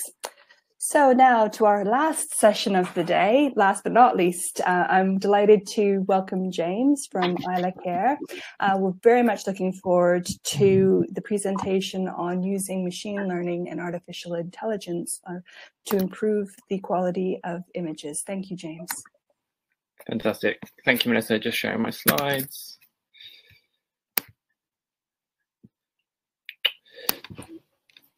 So uh, it's good to good to be here. Uh, I'm James. Unlike everyone uh, else that's been presenting this morning, I'm I'm not from a clinical background. I'm a, a software engineer, and been working with the NHS for a number of years uh, in different roles, um, kind of in operations, and most recently uh, in tech as uh, as part of Isla. Isla is um, a company that I co-founded last year. Um, bringing allowing anyone involved with with a patient's care to uh, securely and seamlessly add visual data against that, that patient's record, be it photos or, or videos. We're currently working with a number of hospitals um, in different use cases, from right from community care um, for um, tissue viability teams through to outpatients, um, allowing in, in one example, um, patients to submit videos of, of, seizures, but we've been working um, very closely with the Royal Brompton um, and this um, this use case of su surgical site surveillance, and I'm going to be talking you through one of the the challenges that we've we've faced um, as a result of that work. Um, as, as kind of a prerequisite to that, we've built up um, an SSI app essentially to, to help them, um, as we've heard a number of times this morning, collect information from patients at home um, so that patients don't have to be visiting the hospital. And, um, and that's been based on work from the Bluebelle study group, which makes it suitable for national surveillance participation uh, for Public Health England. So to jump into to one of those challenges, um,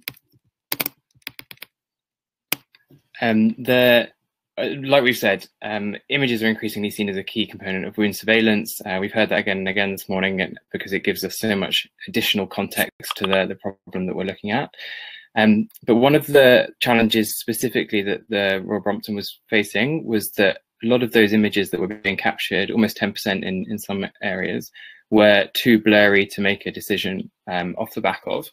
Um, and, and that becomes very important because not only um, does that then increase a lot of the kind of operational overhead in terms of asking patients to resubmit photos, um, but it also then delays um, decision making if we if we can't make a decision based on the a photo that's been submitted. And there's a number of approaches to to solve that problem. Um, so just jumping into to kind of the the headline of the the study, we we we landed on on AI as a solution. Um, I'm I'm often fearful about talking about AI and, and machine learning because it is a bit of a bud, buzzword. We did um, go through a number of different options before we landed on on that as a, a way of um, delivering the the change that we wanted to make.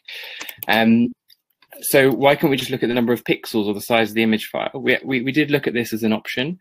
Um, we found that, um, unfortunately, even pictures taken in kind of low um, fidelity cameras could actually be quite clear in nature. So we could make decisions even if there weren't super high number of pixels associated with the, the um, camera that's used to take the picture. And then we could just check them manually. But uh, like I said, there's a, a, big kind of operational cost of, of letting a, a, patient submit a, a, photo, then allowing it to be re reviewed um, manually, which obviously takes time and, and, there's a delay there. And then we need to go back to that patient and ask them to resubmit, and, and all of that incurs a, a delay in the, the decision making. And, and, couldn't we just use existing models that were out there already? Um, well, actually, a lot of those those models kind of do are based on machine learning, and we did we did look at a number of those models in terms of um, to to kind of evaluate what was on the market already to to actually kind of base our research off um, and to, to learn from some of the, the lessons of, of similar people that solving uh, a similar problem elsewhere. And so um, machine learning kind of came to mind as a as a kind of way of solving this problem. And so I just wanted to kind of take a step back and just for a lot of people on the call who are, are clinical, you might not be too close to to these kind of kind of buzzwords that we hear. So I, I just wanted to give a little bit of an introduction on on kind of what machine learning is from the, the offset. I've been using machine learning and AI almost interchangeably. And so um, just to be very clear, machine learning is a, is a subset of AI.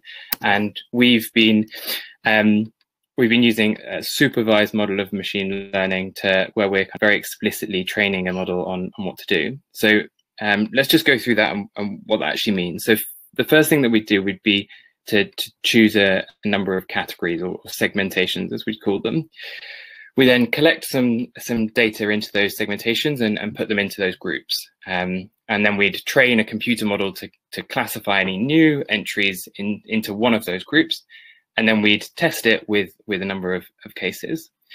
So in this case, in this example, you can see a number of red circles and balls on the left-hand side and a number of green blocks on the right-hand side. And I hope um, hope um, this isn't uh, too obvious. But then let's just start to see what happens. So we we can start to use this a, as an example of a of a test of a trained model, and then we can pass into that model this kind of green block shape. Now, I I would assume for everyone on the call um, that um, we would we would kind of rightly assume that this would be pushed to the right into category two, um, given it very much fits with that classification. It's green uh, and it's a block. But things get a little bit more, more, um, and not only that, we're, we're really confident that um, that it would be into this category. So we'll put it right on the on the right hand side there. But things get a little bit more interesting if we start to think about some some other scenarios. So here we've got a, a red block. So on the one hand, it it's red, so it, it should go to the left, but on the other, um, it's a block, so it should go on the right. And this is this is where um, things get a little bit more complex in the way that we can design these models because we need to add uh, different weightings to certain attributes of um, of any be it image or data set that we're inputting into the model. And so actually for the case of this example, let's say that we've weighted the, the shape of the, the image far more heavily than we have the color. And so in this scenario, the, the model would almost ignore the fact that the, the block is red and say, well, this is a block. um, and it's a square shape. So actually, I I think it should land on the on the right hand side, and I'm pretty confident about that decision. So let's put in a last example of a little um, picture of an elephant. Um, and so this kind of doesn't really fit with any of our, our classifications. And so um, what we would expect from, from this kind of training set is that that model might say, well, there are curves on it, although it's not a, a proper sphere or ball. So I'm, I'm going to put it in the first category, um, but I'm not very confident about that decision. And we start to get that, that notion of a, a kind of score coming out of, um, of the model. So that, that hopefully kind of is is a relatively um, kind of simplified, well, very simplified version of, of what's going on. And now let's apply that to our uh, blur detection problem. So so here we what we're aiming for really is to to take a number of uh, images um, of of wounds, uh, in this case cardiac wounds, um, and we want to be classifying one group into a clear set and one set into a, a blurry set and then in a, in a similar fashion, we want to, once we've got a model that is, is, trained to, to make that decision, we, we then will, will test it with a number of cases and see how effectively it can classify um, the, the clear um, wound on the left, which we can make a, a, kind of clinical decision off versus the, the more blurry version on the right, um, which are real examples where um, it, it, becomes very difficult to make a, a clinical decision from. So in, in order to, to get to that point and to complete that objective, there are a number of steps that we need to, to go through. So the first thing that we we would do is we'd review the, the available data and, and usually you'd use kind of two separate sets of data here. You'd have a, a test set and a, and a training set. And each of those would be categorized into a clear set and a blurred set. We we collected those two sets and we, like I said, looked through some of the existing documentation available. We then take those those um, the training set of uh, clear and blurry images, and we we train a model, and and one of the parameters that we were using to really focus on was um, looking at the um, looking at any contours in the image, which would really start to allow that model to kind of split out the, the clear images from the from the blurry ones. And another thing that we did was was look specifically in the the center of the image because um, in our testing, as we iterated through, we saw a few examples or quite a few examples where the the image of the the wound was quite clear, but there was blur in the background, and so um, our model was was seeing that blur and thinking that it, it should be rejected. Once we train that model, we then uh, test it. And so as part of our collaboration with the, the Royal Brompton, they were able to provide 266 images total, which were um, like those two that we saw on the a couple of uh, the previous slide, um, which we could use to, to test our, our training set. And this was really important because because for for the kinds of models that we're talking about, we need to have quite high volumes of, of training data. And so we actually used non-wound images for, for training. We used publicly available data sets of clear and blurry images to, to train our model. And then we tested the model on the images provided in those two classes from the Royal. And, and then obviously after that point, once we've tested it, we then want to iterate that, um, that process we go through to make sure that we're, we're kind of training our, our model to be as accurate and as fast as possible. And so let's jump into the results that we saw. Here we can see um, a graph showing the results. Uh, and so just to talk through what we're, we're looking at. The first thing to mention is that our, our model gives, rather than a blur score, it actually gives a, a clarity score. So the further we go to the right is, is the more clear our, our, image, uh, our images are. And each image that we would, each of our test set that we put into the model would give us a, a, a score um, where a 200 might be super clear. I can definitely make a decision, or I, I definitely think this is a clear image. And a score of five might be uh, this is a, a, really blurry image, and I I think it's um it should be rejected. Um, so we we tested the algorithm, like I said, with with two data sets that the Royal Brompton was able to provide: a clear set and a um, and a blurry set. Um, the blurry images on this example is the green line, and I'll come to that in a second, and the clear images are the red line. So we can imagine that for each score, we can look at the percentage from that category that get rejected. Uh, and obviously we want to be rejecting the, the blurry example, the, the, the blurry images, and we want to be accepting the clear examples, which is why the, the colors might be in, inverted on this example. Um, and, and obviously we want to be rejecting as many blurry examples as possible whilst maintaining as many clear ones. So we can then decide at what point we, we start rejecting them. Um, and uh, the higher that we set the number, the more we, we will reject, but we'll reject more, more clear ones. There's obviously a, a balance to be set there. What we did in practice was set a, an operating point, as it's called, at a score of, of 10. And so we can start to look at our performance specifically at that point. Oh, I've gone too far. So at that score of, of 10, we can see that we are correctly um, rejecting 62% of those, those blurry images, but that comes at a cost. And that cost is um, rejecting or the, the algorithm rejecting 5% of those clear images. And you can see on this slide how the, the sample that the Royal Brompton was able to provide um, breaks down as the, the clear images and blurred images that were provided as the two kind of rows on this table, and then the results for those um, for those two categories as the, the columns. And so with this um, with this performance, um, we agreed with the with the trust that that it was kind of working at, a, at an acceptable point to be able to to move it into um, production and see how we can implement it to, to start adding value and um, be implemented for the teams. The things that we need to consider here are firstly how to make the user experience as, as seamless as possible for patients um, and also how to make the, the process as a whole as, as kind of efficient as possible for the um, for the teams that would be using it. So the just a bit of, of background to to um, before we get into kind of how we implemented it is just a little bit about the Isla platform itself that we're implementing it into. Like I said, the platform allows anyone involved with a patient's care to submit and review that visual data. So you can see on the example here a number of, of pictures of a hand that have been submitted, and I can be um, either on the desktop or on my my phone um, loading in or, or capturing live a uh, a photo. And so in this example, we can be um, uploading a, a, blurred image. So I've just um, taken that blurred image from the um, from the example I gave a few slides earlier um, on the the blurry category.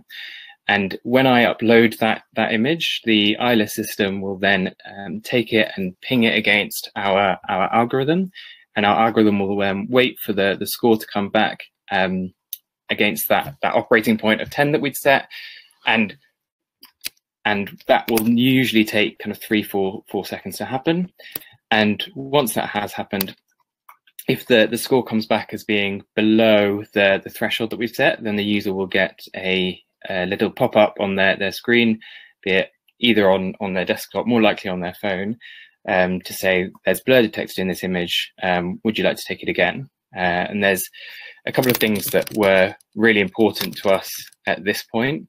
Um, the first is that um, we get a fast response for, for patients. So, um, like I said, it just takes a few seconds to, to come back.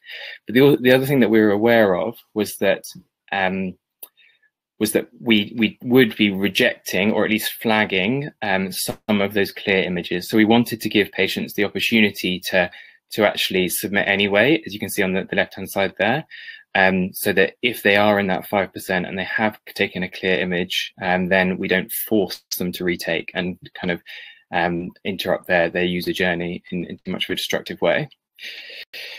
In terms of, of kind of next steps and, and, where we and what the impact of this was, uh, we're still evaluating the the impact just as we start to kind of ramp up in our um, collaboration with the Royal Brompton, and so we don't have any concrete numbers to show, but the um, the early signs are really positive that we'll, we'll see a reduction in um, the number of, of, blurry images that are coming through to the trust and, and being evaluated by SSI teams. Um, and, and I think that's that's kind of one one thing that we're we're eagerly waiting for, and then alongside that, we're obviously exploring ways of how we can refine that model, refine the implementation to to make the, the model more accurate, and the implementation be as, as seamless as possible for for the patients going through that that process.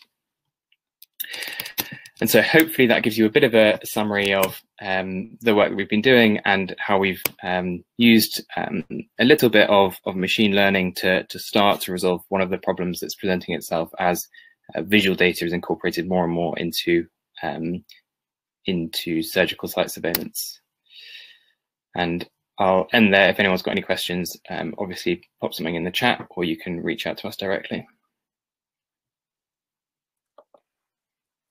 Thank you, James. That was a great presentation, just giving us an overview of machine learning and AI. As well, thank you to all of our speakers today, Josh Totty, Rhiannon Macefield, James Glasbey, Ria Betteridge, Kenny McLean, as well as James from Isla Care. So we're wrapping up a few minutes early today, but I'd like to take this opportunity to thank everyone for attending. If you're interested in following up with any of the presenters or on any of the topics, please send your name and details via the chat on the right-hand side. We'll make sure to follow up with everyone. Finally, I'd also like to mention um, the recommendations for the use of digital images in wound care from the National Strategy uh, National Wound Care Strategy Program. We will be sending the recommendations out for uh, stakeholder consultation. If you haven't done so already, it's a great time to get involved with the National Wound Care Strategy Program. Register on their uh, website to find out more and to receive a copy of those draft recommendations to get your comments in. Finally, a big thank you from everyone at the Cardiac SSI Network. This is our first webinar, steep learning curve for all involved and a very ambitious program to have a lineup of such fantastic speakers. So thanks to everyone for attending and we look forward to our next um, meeting, which I hope we'll be hosting in December. Uh, more details to follow with our Twitter account. So again, thank you. A few finishing 10 some minutes early, but take this opportunity to get in touch via the chat and we will make sure that your questions or your contacts are delivered appropriately. So thanks to everyone and we'll see you in December. Catch up soon. Thanks.